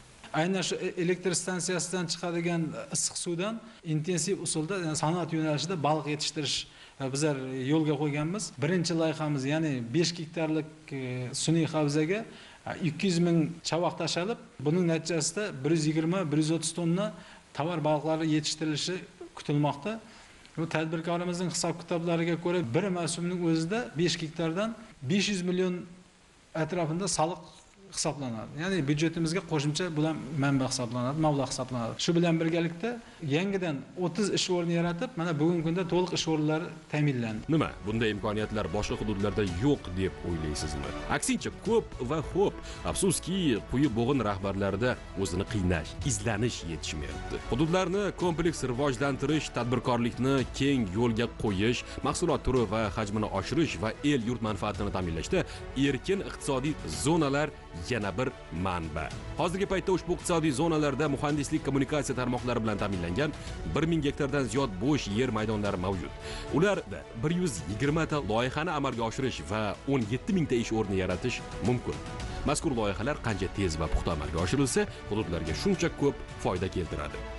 Pandemiyani ta'siri bo'ldi desam bu to'g'ri chunki moliyalashtirish ishlari bizda biroz kechikdi mana shu olti yuz gektardan ortiq bugungi kunda ekspertizadan o'tgan ma'muriy kengashdan o'tgan loyihalarimiz bor. Bu loyihalar asosan issiqxonalar qurilishi. O'rtacha bir gektar issiqxonada o'nta doimiy ishchi o'rni va o'n beshtagacha mavsumiy ishchi o'rinlari bo'ldi degani bu. Bir gektar issiqxonadan eng kamida bu yuz yuz yigirma tonna mahsulot degani qo'shimcha ish o'rni va mahsulotlarimizni eksport qilish imkonimiz paydo bo'lardi. Qo'qon erkin iqtisodiy zonada ham bugungi kunda biz ellik o'n ikki gektar bo'sh yer maydonimiz mavjud. Shunga hozirgi kunda biz e, to'qqizta loyihalar joylashtirish e, harakatidamiz. Shu bilan birga ikki ming yigirmanchi yil to'qqiz oy davomida qo'shimcha yana yettita korxonamiz ishga tushadi. Shu bilan birga biz to'qqiz oylik yakuni bilan bir trillion ikki yuz million so'm mahsulot ishlab chiqarib yigirma besh million aqsh dollar miqdorida eksportni amalga oshirmoqchimiz. Yil yakuni bo'yicha oltmishta korxonamiz ishga tushib jami bo'lib mahsulot hajmini bir trillion yetti yuz milliard so'mga yetkazmoqchimiz. Va shu ishlab chiqargan mahsulotimizni yil yakuniga qadar o'ttiz besh million aqsh dollar miqdorida eksportga yo'naltirmoqchimiz joylarda tadbirkorlikni rivojlantirish iqtisodiy barqarorlikni oshirishda yashirin iqtisodiyotni qisqartirish muhim o'rin tutadi. Qo'shimcha zaxiralarni shakllantirish aholining ehtiyojmand qatlamini qo'llab quvvatlash uchun muhim manba bo'ladi.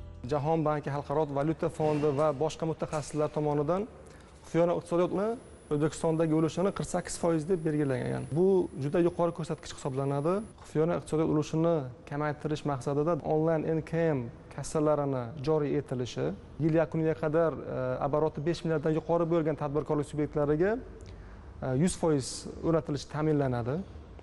E, ikkinchisi bu e, elektron hisob fakturalaridan foydalanish.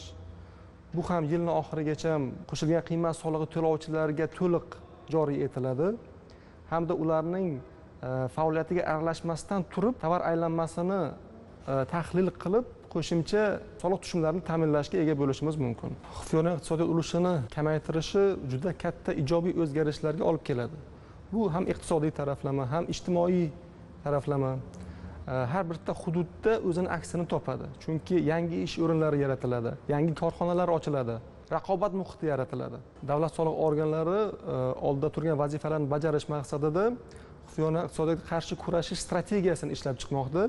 Mazkur strategiyaga muvofiq har yilgi soliq tushumlariga qo'shimcha ravishda uch to'rt trillion so'm qo'shimcha soliq tushumlari davlat byudjetiga yo'naltiriladi. Xuddi shunday yana bir dolzarb vazifa. Bu ishsiz yoshlar va xotin qizlar bandligini ta'minlashdir. Shundan kelib chiqqan holda yurtimizda joriy etilgan temir daftarlar kabi ishsiz yoshlar bo'yicha alohida yoshlar daftari bandligi ta'minlanmagan va boquvchisini yo'qotgan xotin qizlar bo'yicha esa alohida ayollar daftari yuritilib ularning ro'yxatlari shakllantiriladi. Har biri bilan yangicha tizim asosida manzilli ishlash tartibi joriy etiladi. Bunday chora tadbirlar yurtimizda odamlarni hayotdan rozi qilish bosh masala ekanligini yoshi millati va mavqeidan qat'iy nazar. Har bir fuqaro davlat e'tiborida bo'lishini anglatadi. Sir emaski odatda vatandan tashqarida bo'lgan fuqarolar kuchli huquqiy himoyaga ehtiyoj sezadi. Ayniqsa xorijda buning ustiga ko'pchiligi noqonuniy tarzda mehnat qilayotgan minglab yurtdoshlarimiz hayotini ko'z oldimizga keltirar ekanmiz. Masalaning nechog'lik dolzarb ekanligi yana yaqqolroq namoyon bo'lib qoladi. Bu hol yurtimizni yaqin 25 yillik tarixiga xos bo'lgan xalqimizni bir dardi edi. Ajablanarli tomoni bosh huquqiy hujjatimiz o'zbekiston respublikasi konstitutsiyasining 22 moddasida. O'zbekiston respublikasi o'z hududida ham uning tashqarisida ham fuqarolarni huquqiy himoya qilish va ularga homiylik ko'rsatishni kafolatlaydi degan me'yor mustahkamlab qo'yilgan. Biroq konstitutsiyamizning mana shu moddasi uzoq yillar e'tiborimizdan chetda qolib keldi. Ya'ni xorijda ishlayotgan yurtdoshlarimizning huquqiy himoyasi borasida bosh qomusimizda va'da qilingan kafolat amalda ishlamadi. Mana uch to'rt yildirki xorijda ishlash niyatida bo'lgan yoki ishlayotgan yurtdoshlarimizning ham yelkasiga oftob ko'kragiga shamol tegdi. O'z vatani ular haqida ham qayg'uradigan bo'ldi. O'zbekiston respublikasi prezidenti shavkat mirziyoyev raisligida 17 avgust kuni o'tkazilgan video selektorda xuddi shu masala ilk marotaba. Mutlaqo yangicha formatda muhokama qilindi. Xorijda mehnat qilayotgan fuqarolarga munosib shart sharoitlar yaratish hamda ular bilan tizimli ishlash yuzasidan muhim vazifalar belgilab berildi. Qisqacha qilib aytganda bosh qomusimizda belgilangan kafolatni amalda ta'minlash masalasi kun tartibiga qat'iy qo'yildi. Navbatdagi sharh shu haqda.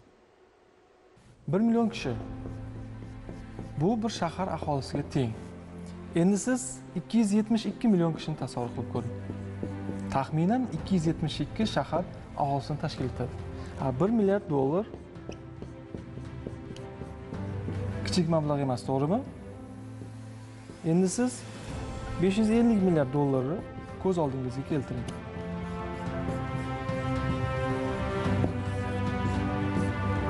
Ushbu raqamlar mehnat migratsiyasining butun dunyo bo'ylab rivojlanib borayotganini va uning bo'y bastini namoyon qiladi. Masalan 2019 yilda dunyo bo'ylab 272 million nafar mehnat migranti o'z oilasiga 550 milliard aqsh dollariga teng mablag' jo'natgan va yana bir e'tiborli jihati mehnat migrantlarini soni dunyo aholisini soniga nisbatan tezroq o'sib bormoqda.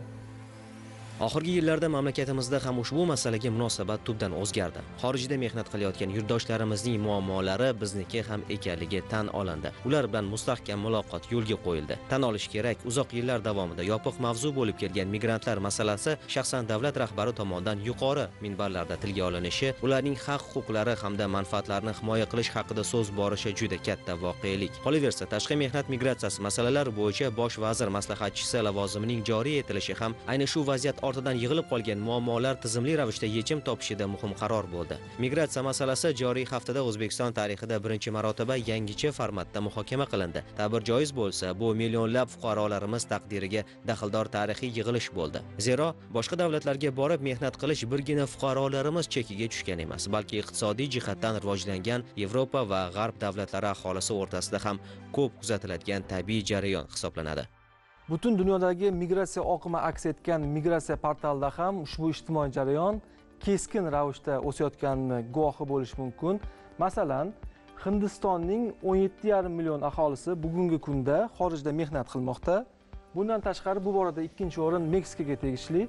Ya'ni har yili o'n ikki millionga yaqin meksikaliklar xorijga ishlash uchun chiqib ketishadi.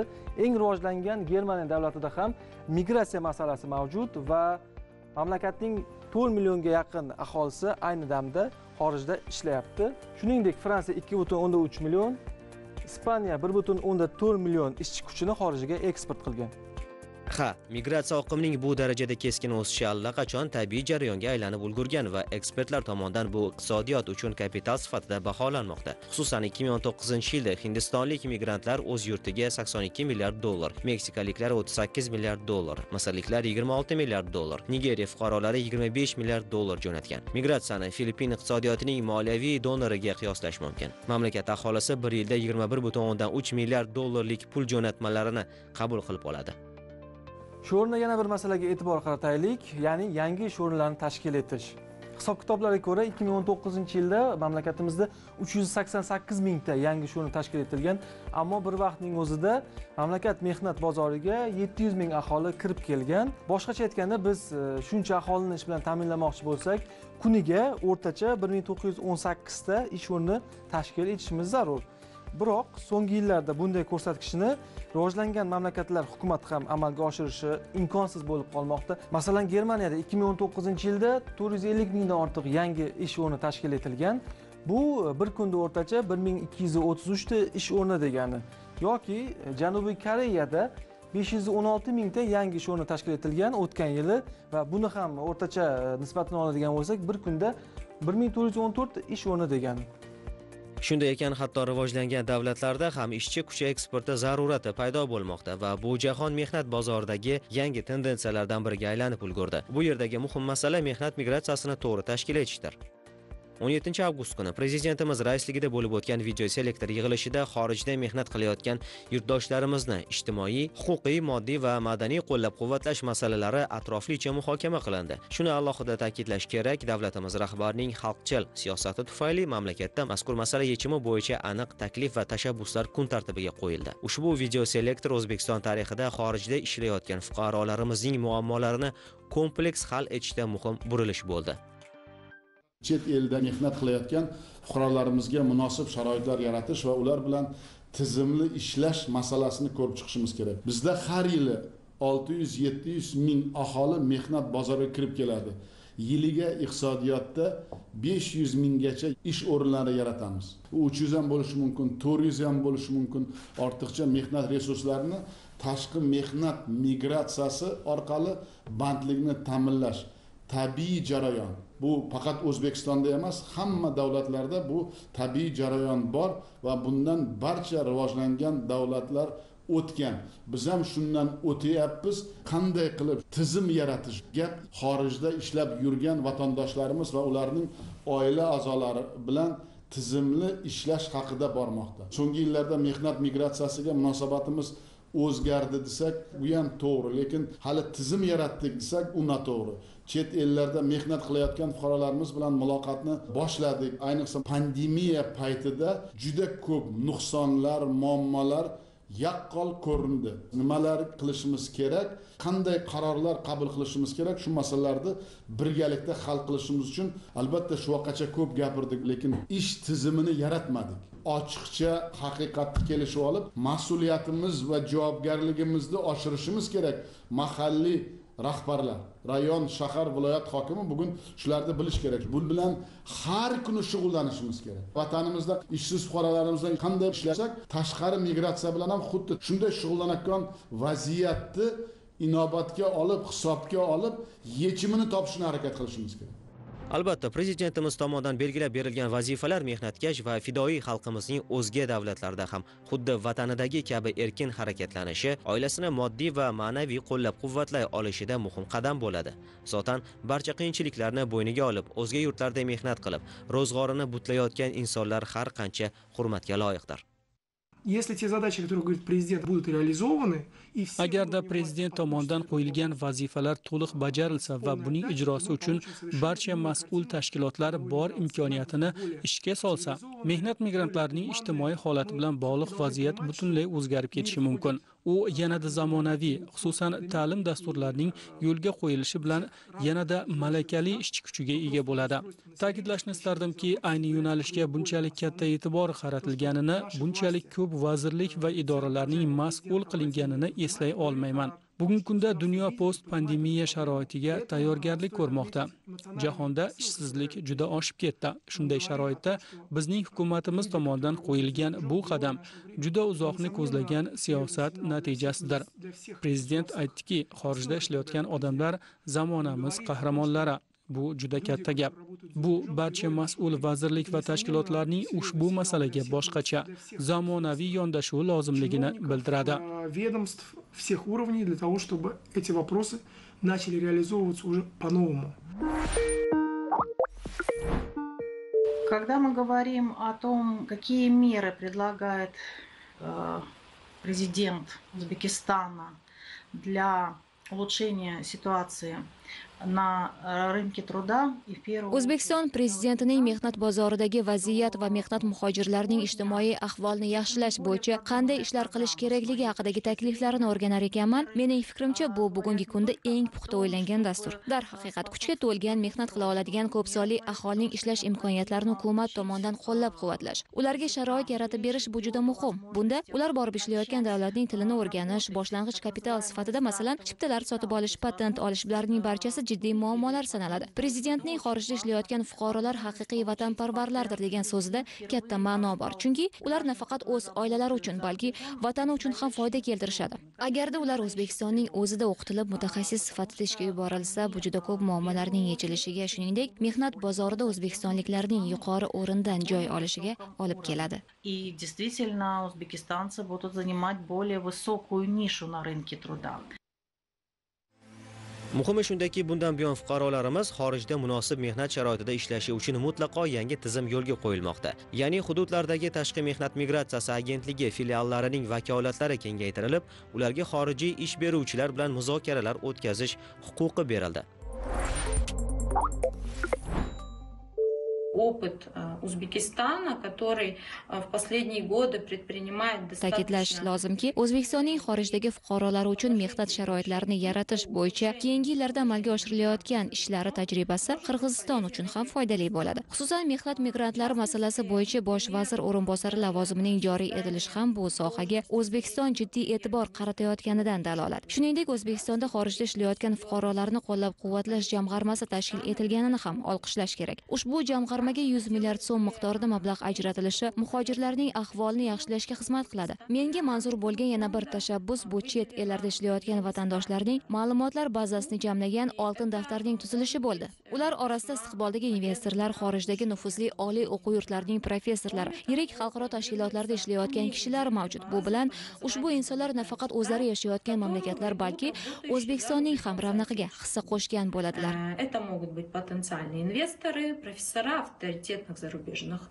вузов, а также работники международных организаций и компаний. mavzu yuzasidan suhbatdoshlarimiz o'zbekiston respublikasi bosh vazirining maslahatchisi xorijda vaqtinchalik mehnat faoliyatini amalga oshirayotgan o'zbekiston respublikasi fuqarolari huquqlarini himoya qilish va qo'llab quvvatlash masalalari departamentining mudiri mehriddin xayriddinov hamda bandlik va mehnat munosabatlari vazirining birinchi o'rinbosari erkin muhiddinov assalomu alaykum. Assalomu alaykum. davlatimiz rahbari raisligida ikki milliondan ziyod xorijda ishlab kelayotgan yurtdoshlarimiz taqdiriga bevosita daxldor yig'ilish o'tkazildi va tan olib aytishimiz kerak. Ayni masala bu formatda hali biron marotaba ko'rilmagan edi. Shunisi bilan ham ko'plab vatandoshlarimiz xorijdagi vatandoshlarimizni ham qalbiga qandaydir ishonch vatanga bo'lgan intilishni olib kirgan bo'lsa ajab emas. Demak mazkur yig'ilishdan dastlabki chiqarilgan xulosalar bilan qiziqmoqchi edik. Ee, haqiqatan ham bu formatda aytganingizdek aynan shu muammoni ya'ni tashqi mehnat migratsiyasini ko'tarilishi bu e, birinchi marta.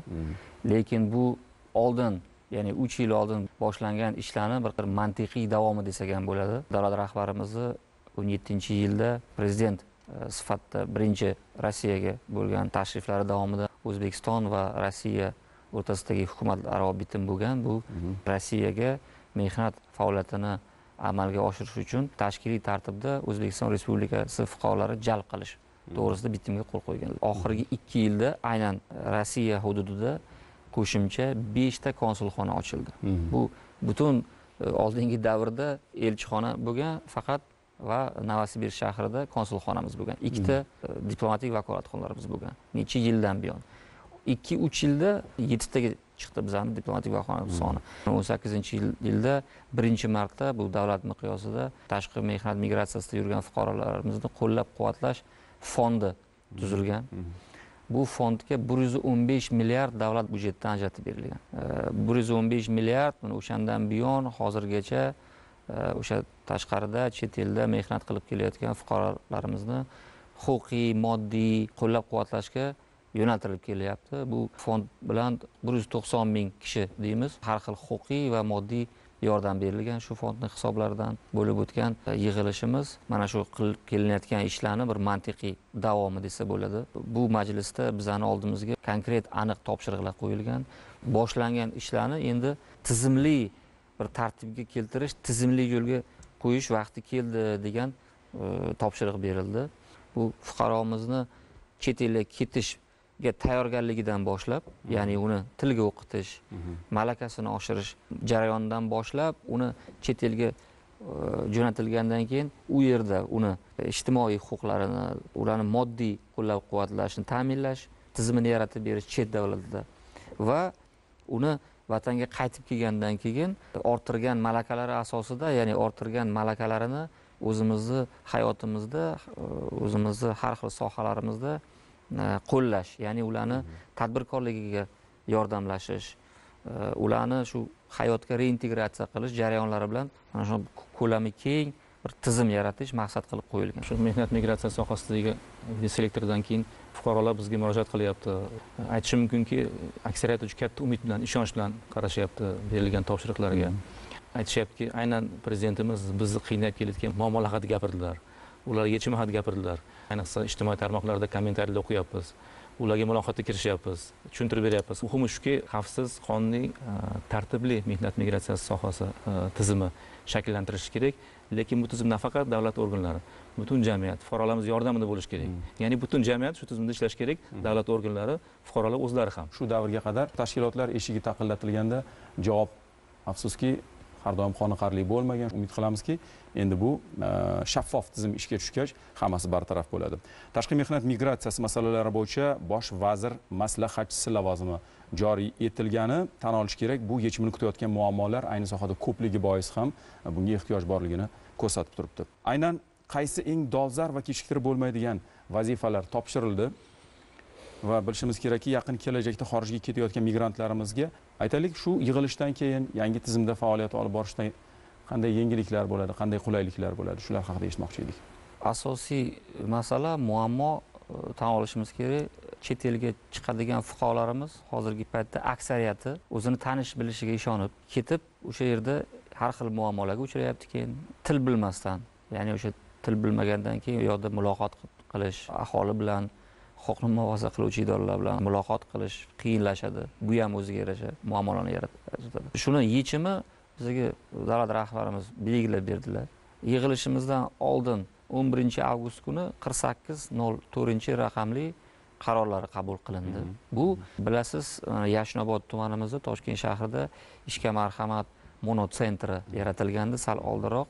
Mana shunaqa mono markazlar va umuman kasbga o'qitish maskanlari markazlarini butun respublika regionlarida hududlarda tashkil qilish. Konkret yil oxirigacha mana bir ikki yuzga yaqin bu mono sentrlar kasb hunar markazlari mahallada kasb hunar maskanlari yaratishki shu odamlarimiz chet elga ketishdan oldin albatta mana shu maskanlardan foydalanishsin.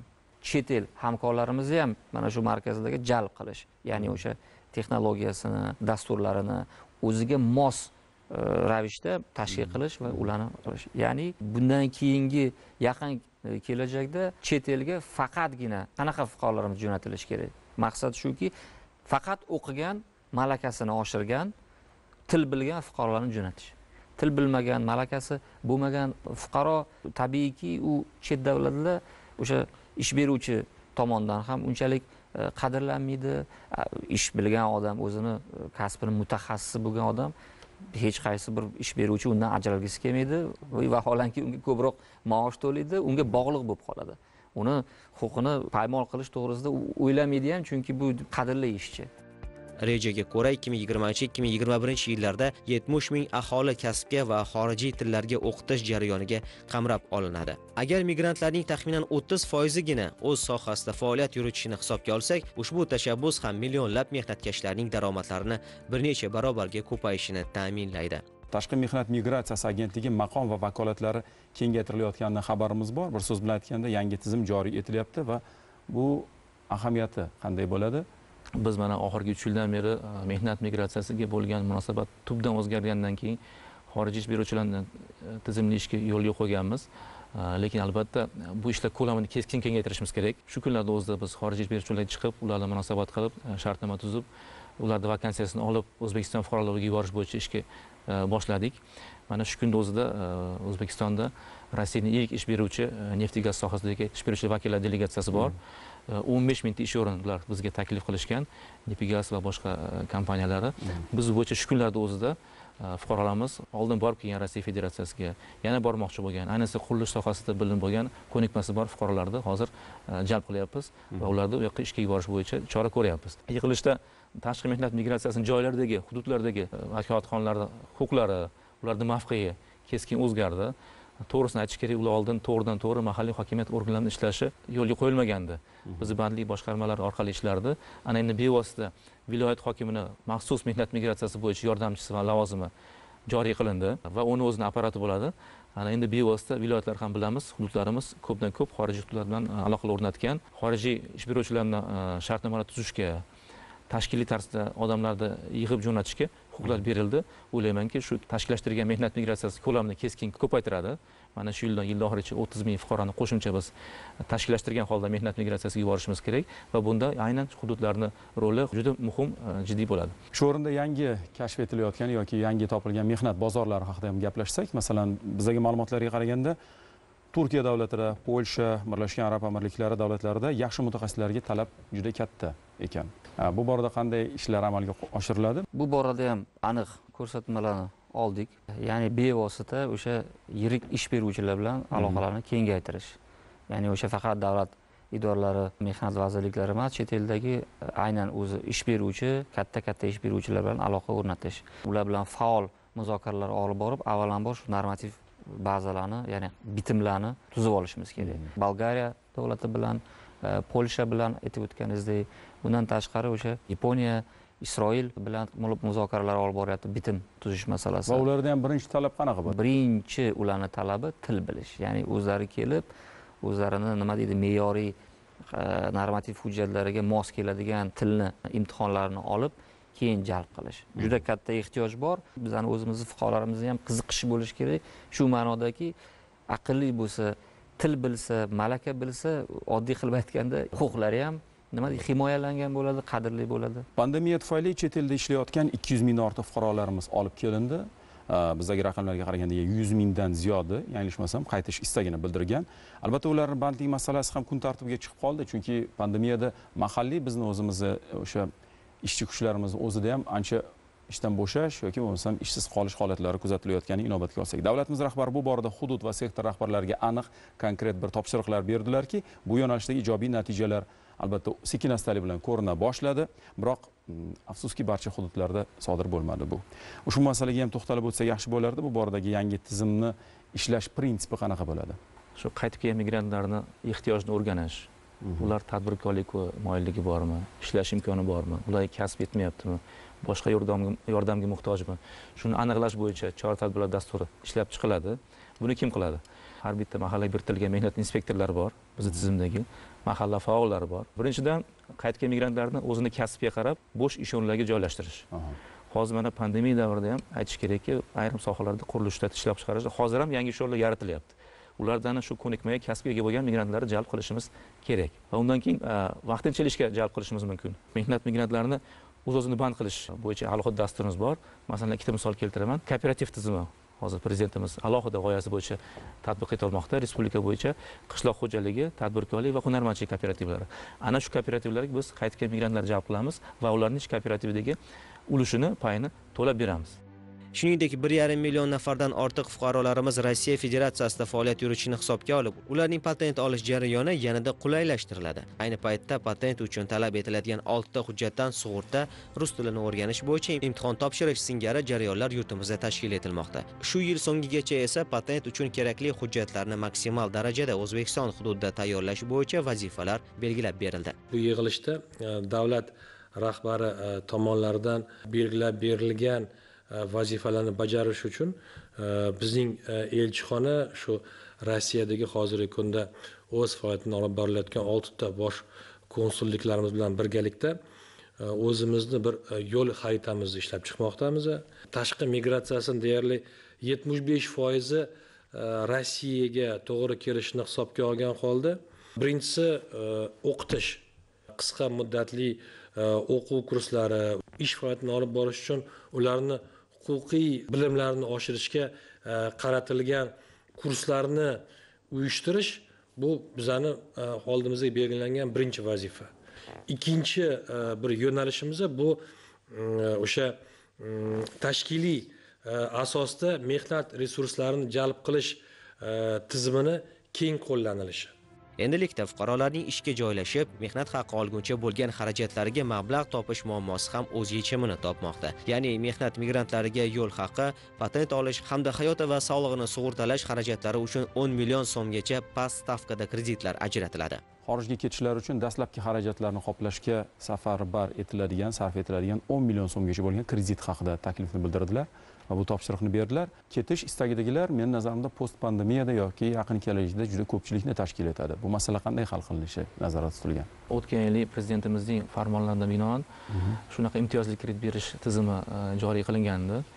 Ya'ni u yerda fuqarolarimiz ikki million so'mgacha kredit olib o'zini yo'l xarajatlari yoki kasbiy o'qitish xarajatlarini e, qoplashi mumkin edi unga hujjatlar sifatida faqat ariza ish beruvchining arizasi pasporti va biz e, mehnat organlari yo'llanmasi kerak bo'lgandi shu dastur bo'yicha biz bir milliardga yaqin e, kredit ajratdik. Bizni bandlik ko'maklash jamg'armasi resurslari hisobiga. Lekin fuqarolarimiz tomonidan ko'pdan ko'p shu summa yetarli bo'lmayotgani hamma xarajatni qoplamayotganini e, masalasi ko'tarilgandi. Mana prezidentimiz yig'ilishdan keyin shu muammo yechildi. Ya'ni kredit summasi o'n milliongacha ko'tarildi va bu har qanday davlatga hisob kitoblarimiz bo'yicha o'sha nafaqat yo'l kirasi balki shu davlatdagi Э, mehnat hujjatlarini ya'ni mehnatga ruxsat beruvchi hujjatlarni rasmiylashtirishga ham bemalol yetadi bu dasturni boshlaymiz. Bu bo'yicha alohida biz bandlik ko'maklashish jamg'armasidan mablag'lar ajratildi. Barcha o'n to'rtta hududdagi tashqi mehnat migratsiya agentligi orqali va biz bandlik ko'maklashish markazlari hamma tuman shaharlarda bor. Shu orqali shu dasturni yana boshlaymiz. Bir necha bor qaytardik suhbat davomida. Yurtimizga yuqori bir malaka bilan qaytgan munosib ish o'rnini topgan va tadbirkorlik qilayotgan hamyurtlarimiz haqida jurnalistlarimiz lavha tayyorlashgan keling uni tomosha qilib keyin yana suhbatni davom ettirsak marhamat. Ikki ming birinchi yili rossiyaga ishlagani ketganmiz. O'sha yerda oldin рабочий bo'lib ishlar tashkil etib novvoyxona o'zimiz mana milliy nonlarni novvoyxonalarni qurib pekarnilar qilib keyin sekin sekin e, chevarxonalar ochganmiz. Firmalar ochdik u yerda. O'zimizni e, ishchilarni o'zbekistondan olib borib ishlatib o'sha yerda ishladik. Ikki ming o'n oltinchi yili do'stlarim telefon qilib o'zbekistonda judayam katta yengilliklar berilyapti. O'sha yerda qilayotgan bizneslaringlarni shu yerda qilib shu yerdan eksport qilsalaring yaxshi bo'ladi deyishdi. ikki ming o'n yettinchi yildan keyin biz o'zbekistonga qaytib keldik. bir yuz o'nta ishchi o'rni yaratdik. Hozirda u trikotaj seximiz ishlayapti. Shu yerdan xalat futbolkalar eksport qilyapmiz. Mana hozir ikki yarim million dollar kredit olib ellik yetti yetti milliard olti yuz million so'mlik loyiha qildik. Hozirda mana qog'oz zavodimiz bitdi. Ikkinchi loyihamiz mana bu yerda turibdi to'qson olti milliard. Bu birinchi loyihamiz ellik yetti milliard olti yuz million so'm qog'oz ishlab chiqarish. Yetmish xil turda qog'oz ishlab chiqaradi. Yuzta odam ish o'rni yaratiladi bu yerda. Chet ellarda ishlab orttirgan tajribalarimizni o'zbekistonda o'zimizni vatanda qo'llayapmiz. Guvohi bo'ldik. Xorijda tajriba va yetarli mablag' to'plab yurtimizga qaytib tadbirkorlikka qo'l urgan yurtdoshlarimiz yangi ish o'rinlarini ham tashkil etayotgani bu yaxshi yangilik. Mana shunday fuqarolarni tadbirkorlik tashabbuslari qay tartibda qo'llab quvvatlanadi. Selektorda prezidentimiz tomonidan bu borada aniq topshiriqlar berildi yilni oxirigacha aynan shunaqa xorijdan qaytib kelib tadbirkorlik tashabbuslarini loyihalarni amalga oshirish istagida bo'lgan fuqarolarimizga yuz milliardgacha alohida imtiyozli kredit resurslari beriladi. Undan tashqari aytib o'tganimdek bizni bandlik ko'maklash jamg'armasidan e, shu kredit olayotgan paytda xatarni kamaytirish bo'yicha sug'urta polisi rasmiylashtirishga yana besh milliard pul ajratiladi. Har bitta shu tuman kesimida shunaqa tadbirkor ro'yxati qilinib ular bo'yicha dastur qilinadi. O'ylaymanki yil oxirigacha uzoqdan beri amalga oshirish niyatida bo'lgan loyihalar amalga oshadi. Va yana bir muhim tomonni aytib o'tmoqchiman hozir lavhadan ko'rdik. Bu tadbirkorlar nafaqat mana loyihasini amalga oshirib yangi ish o'rnatadi ular o'zini kasbiy bilimi tadbirkorlik ko'nikmalarini fuqarolarga ulashadi boshqalarga ham o'rgatadi. Ustoz shogird hattoki mana shu lavhadagi tadbirkorlar mavzusida ko'p gaplashaman. Ularda aynan nafaqat o'zimizni mehnat bozorida tadbirkorlik loyihalarini amalga oshirish yangi ish yaratish balki mehnat migratsiya tizimini ham takomillashtirish bo'yicha ko'p taklif berishadi. Uni ham o'zaro fikr almashib yangi fikr ulardan olamiz. Ma'lumotlarga ko'ra xorijda ishlayotgan fuqarolarimizni mehnat stajini hisobga olish tizimida atigi to'rt yarim ming nafar mehnat migranti qayd etilgan. Bu borada qandaydir o'zgarishlar bo'ladimi? Shu kungacha mehnat migrantlarni xorijda ishlayotgan paytda mehnat stajini hisoblash uni keyinchalik pensiya huquqini vujudga keltirish uchun u ketishdan oldin qaytib kelganda pensiya jamg'armasiga borib yiliga baza hisoblash miqdorini to'rt yarim barobarini to'lashi kerak edi. Lekin uni onlayn imkoniyati yo'q edi. Ya'ni ko'proq fuqaroni qamrab olish tizimi yo'q edi. Mana topshiriqdan keyin yangicha tizim yaratilyapti. Ya'ni xabaringiz bor bu yil iyul oyidan o'z o'zini band qiluvchi fuqarolar bo'yicha alohida onlayn tizimi yaratildi. Mana shu tizimga mehnat migrantlardan ham ulanadi. Ular birinchidan to'laydigan miqdori kamayadi pensiya jamg'armasiga. Ikkinchidan ko'lami kengayib o'sha xorijda ishlab turgan paytda bevosita yo qaytib kelib yo ketishdan oldin kerak emas. O'sha yerda ishlayotgan paytda shu onlayn tizimga kirib o'zini o'z o'zini band qilgan fuqaro mehnat migranti sifatida ro'yxatga olinadi va uni mehnat staji hisoblanadi va keyinchalik pensiya chiqqan paytda pensiya olish huquqiga ega bo'ladi. Ishonchimiz komil bu mukammallashgan tizim bu boradagi og'riqli nuqtalarga yaxshi bir mador bo'la oladi. Dasturdagi ishtirok uchun bildirgan fikr mulohazalar uchun minnatdorlik bildiramiz. Yana bir bor xush kelibsiz. Rahmat. Chet elda mehnat qilayotgan fuqarolarimizning huquqiy himoyasini kuchaytirish masalasi ham davlat rahbarining diqqat markazida. Shu maqsadda rossiyaning yekaterinburg novosibirsk samara ufa qozog'istonning chimkent turkiyaning istanbul birlashgan arab amirliklarining dubay shaharlarida tashqi mehnat migratsiyasi agentligining vakolatxonalari tashkil etilishi rejalashtirilmoqda. Bir so'z bilan aytganda xorijda mehnat qilayotgan millionlab yurtdoshlarimiz taqdirini yengillashtirishga qaratilgan chora tadbirlarga start berilmoqda. E'tibor berilsa prezidentimiz tomonidan joriy etilgan yangi tizim hamda mexanizmlarda barcha jihatlar hisobga olingan. Vatandoshlarimizga til va kasb o'rgatishu ularni huquqlarini himoya qilish fuqarolarimizni ijtimoiy moddiy va madaniy qo'llab quvvatlashu yangi bozorlarni tashkil etish. Shunday ekan bu o'ziga xos tizim kompleks yondashuvlar albatta ijobiy natijalarni beradi. Xullas nihoyalanayotgan haftaning biz tahlil qilgan barcha voqealarni bog'lab turadigan bir rishta bor. Buni kamtargina qilib fuqaroparvarlik deya nomlash mumkin bo'ladi. Bu esa shu yurt odamlarining bugungi hayotini to'kis qiladigan ertangi kunga bo'lgan ishonchini yanada mustahkamlaydigan oliy maqom fazilatdir. Aziz yurtdoshlar siz tahlilnoma dasturi bilan tanishdingiz. E'tiboringiz uchun rahmat. Salomat bo'ling.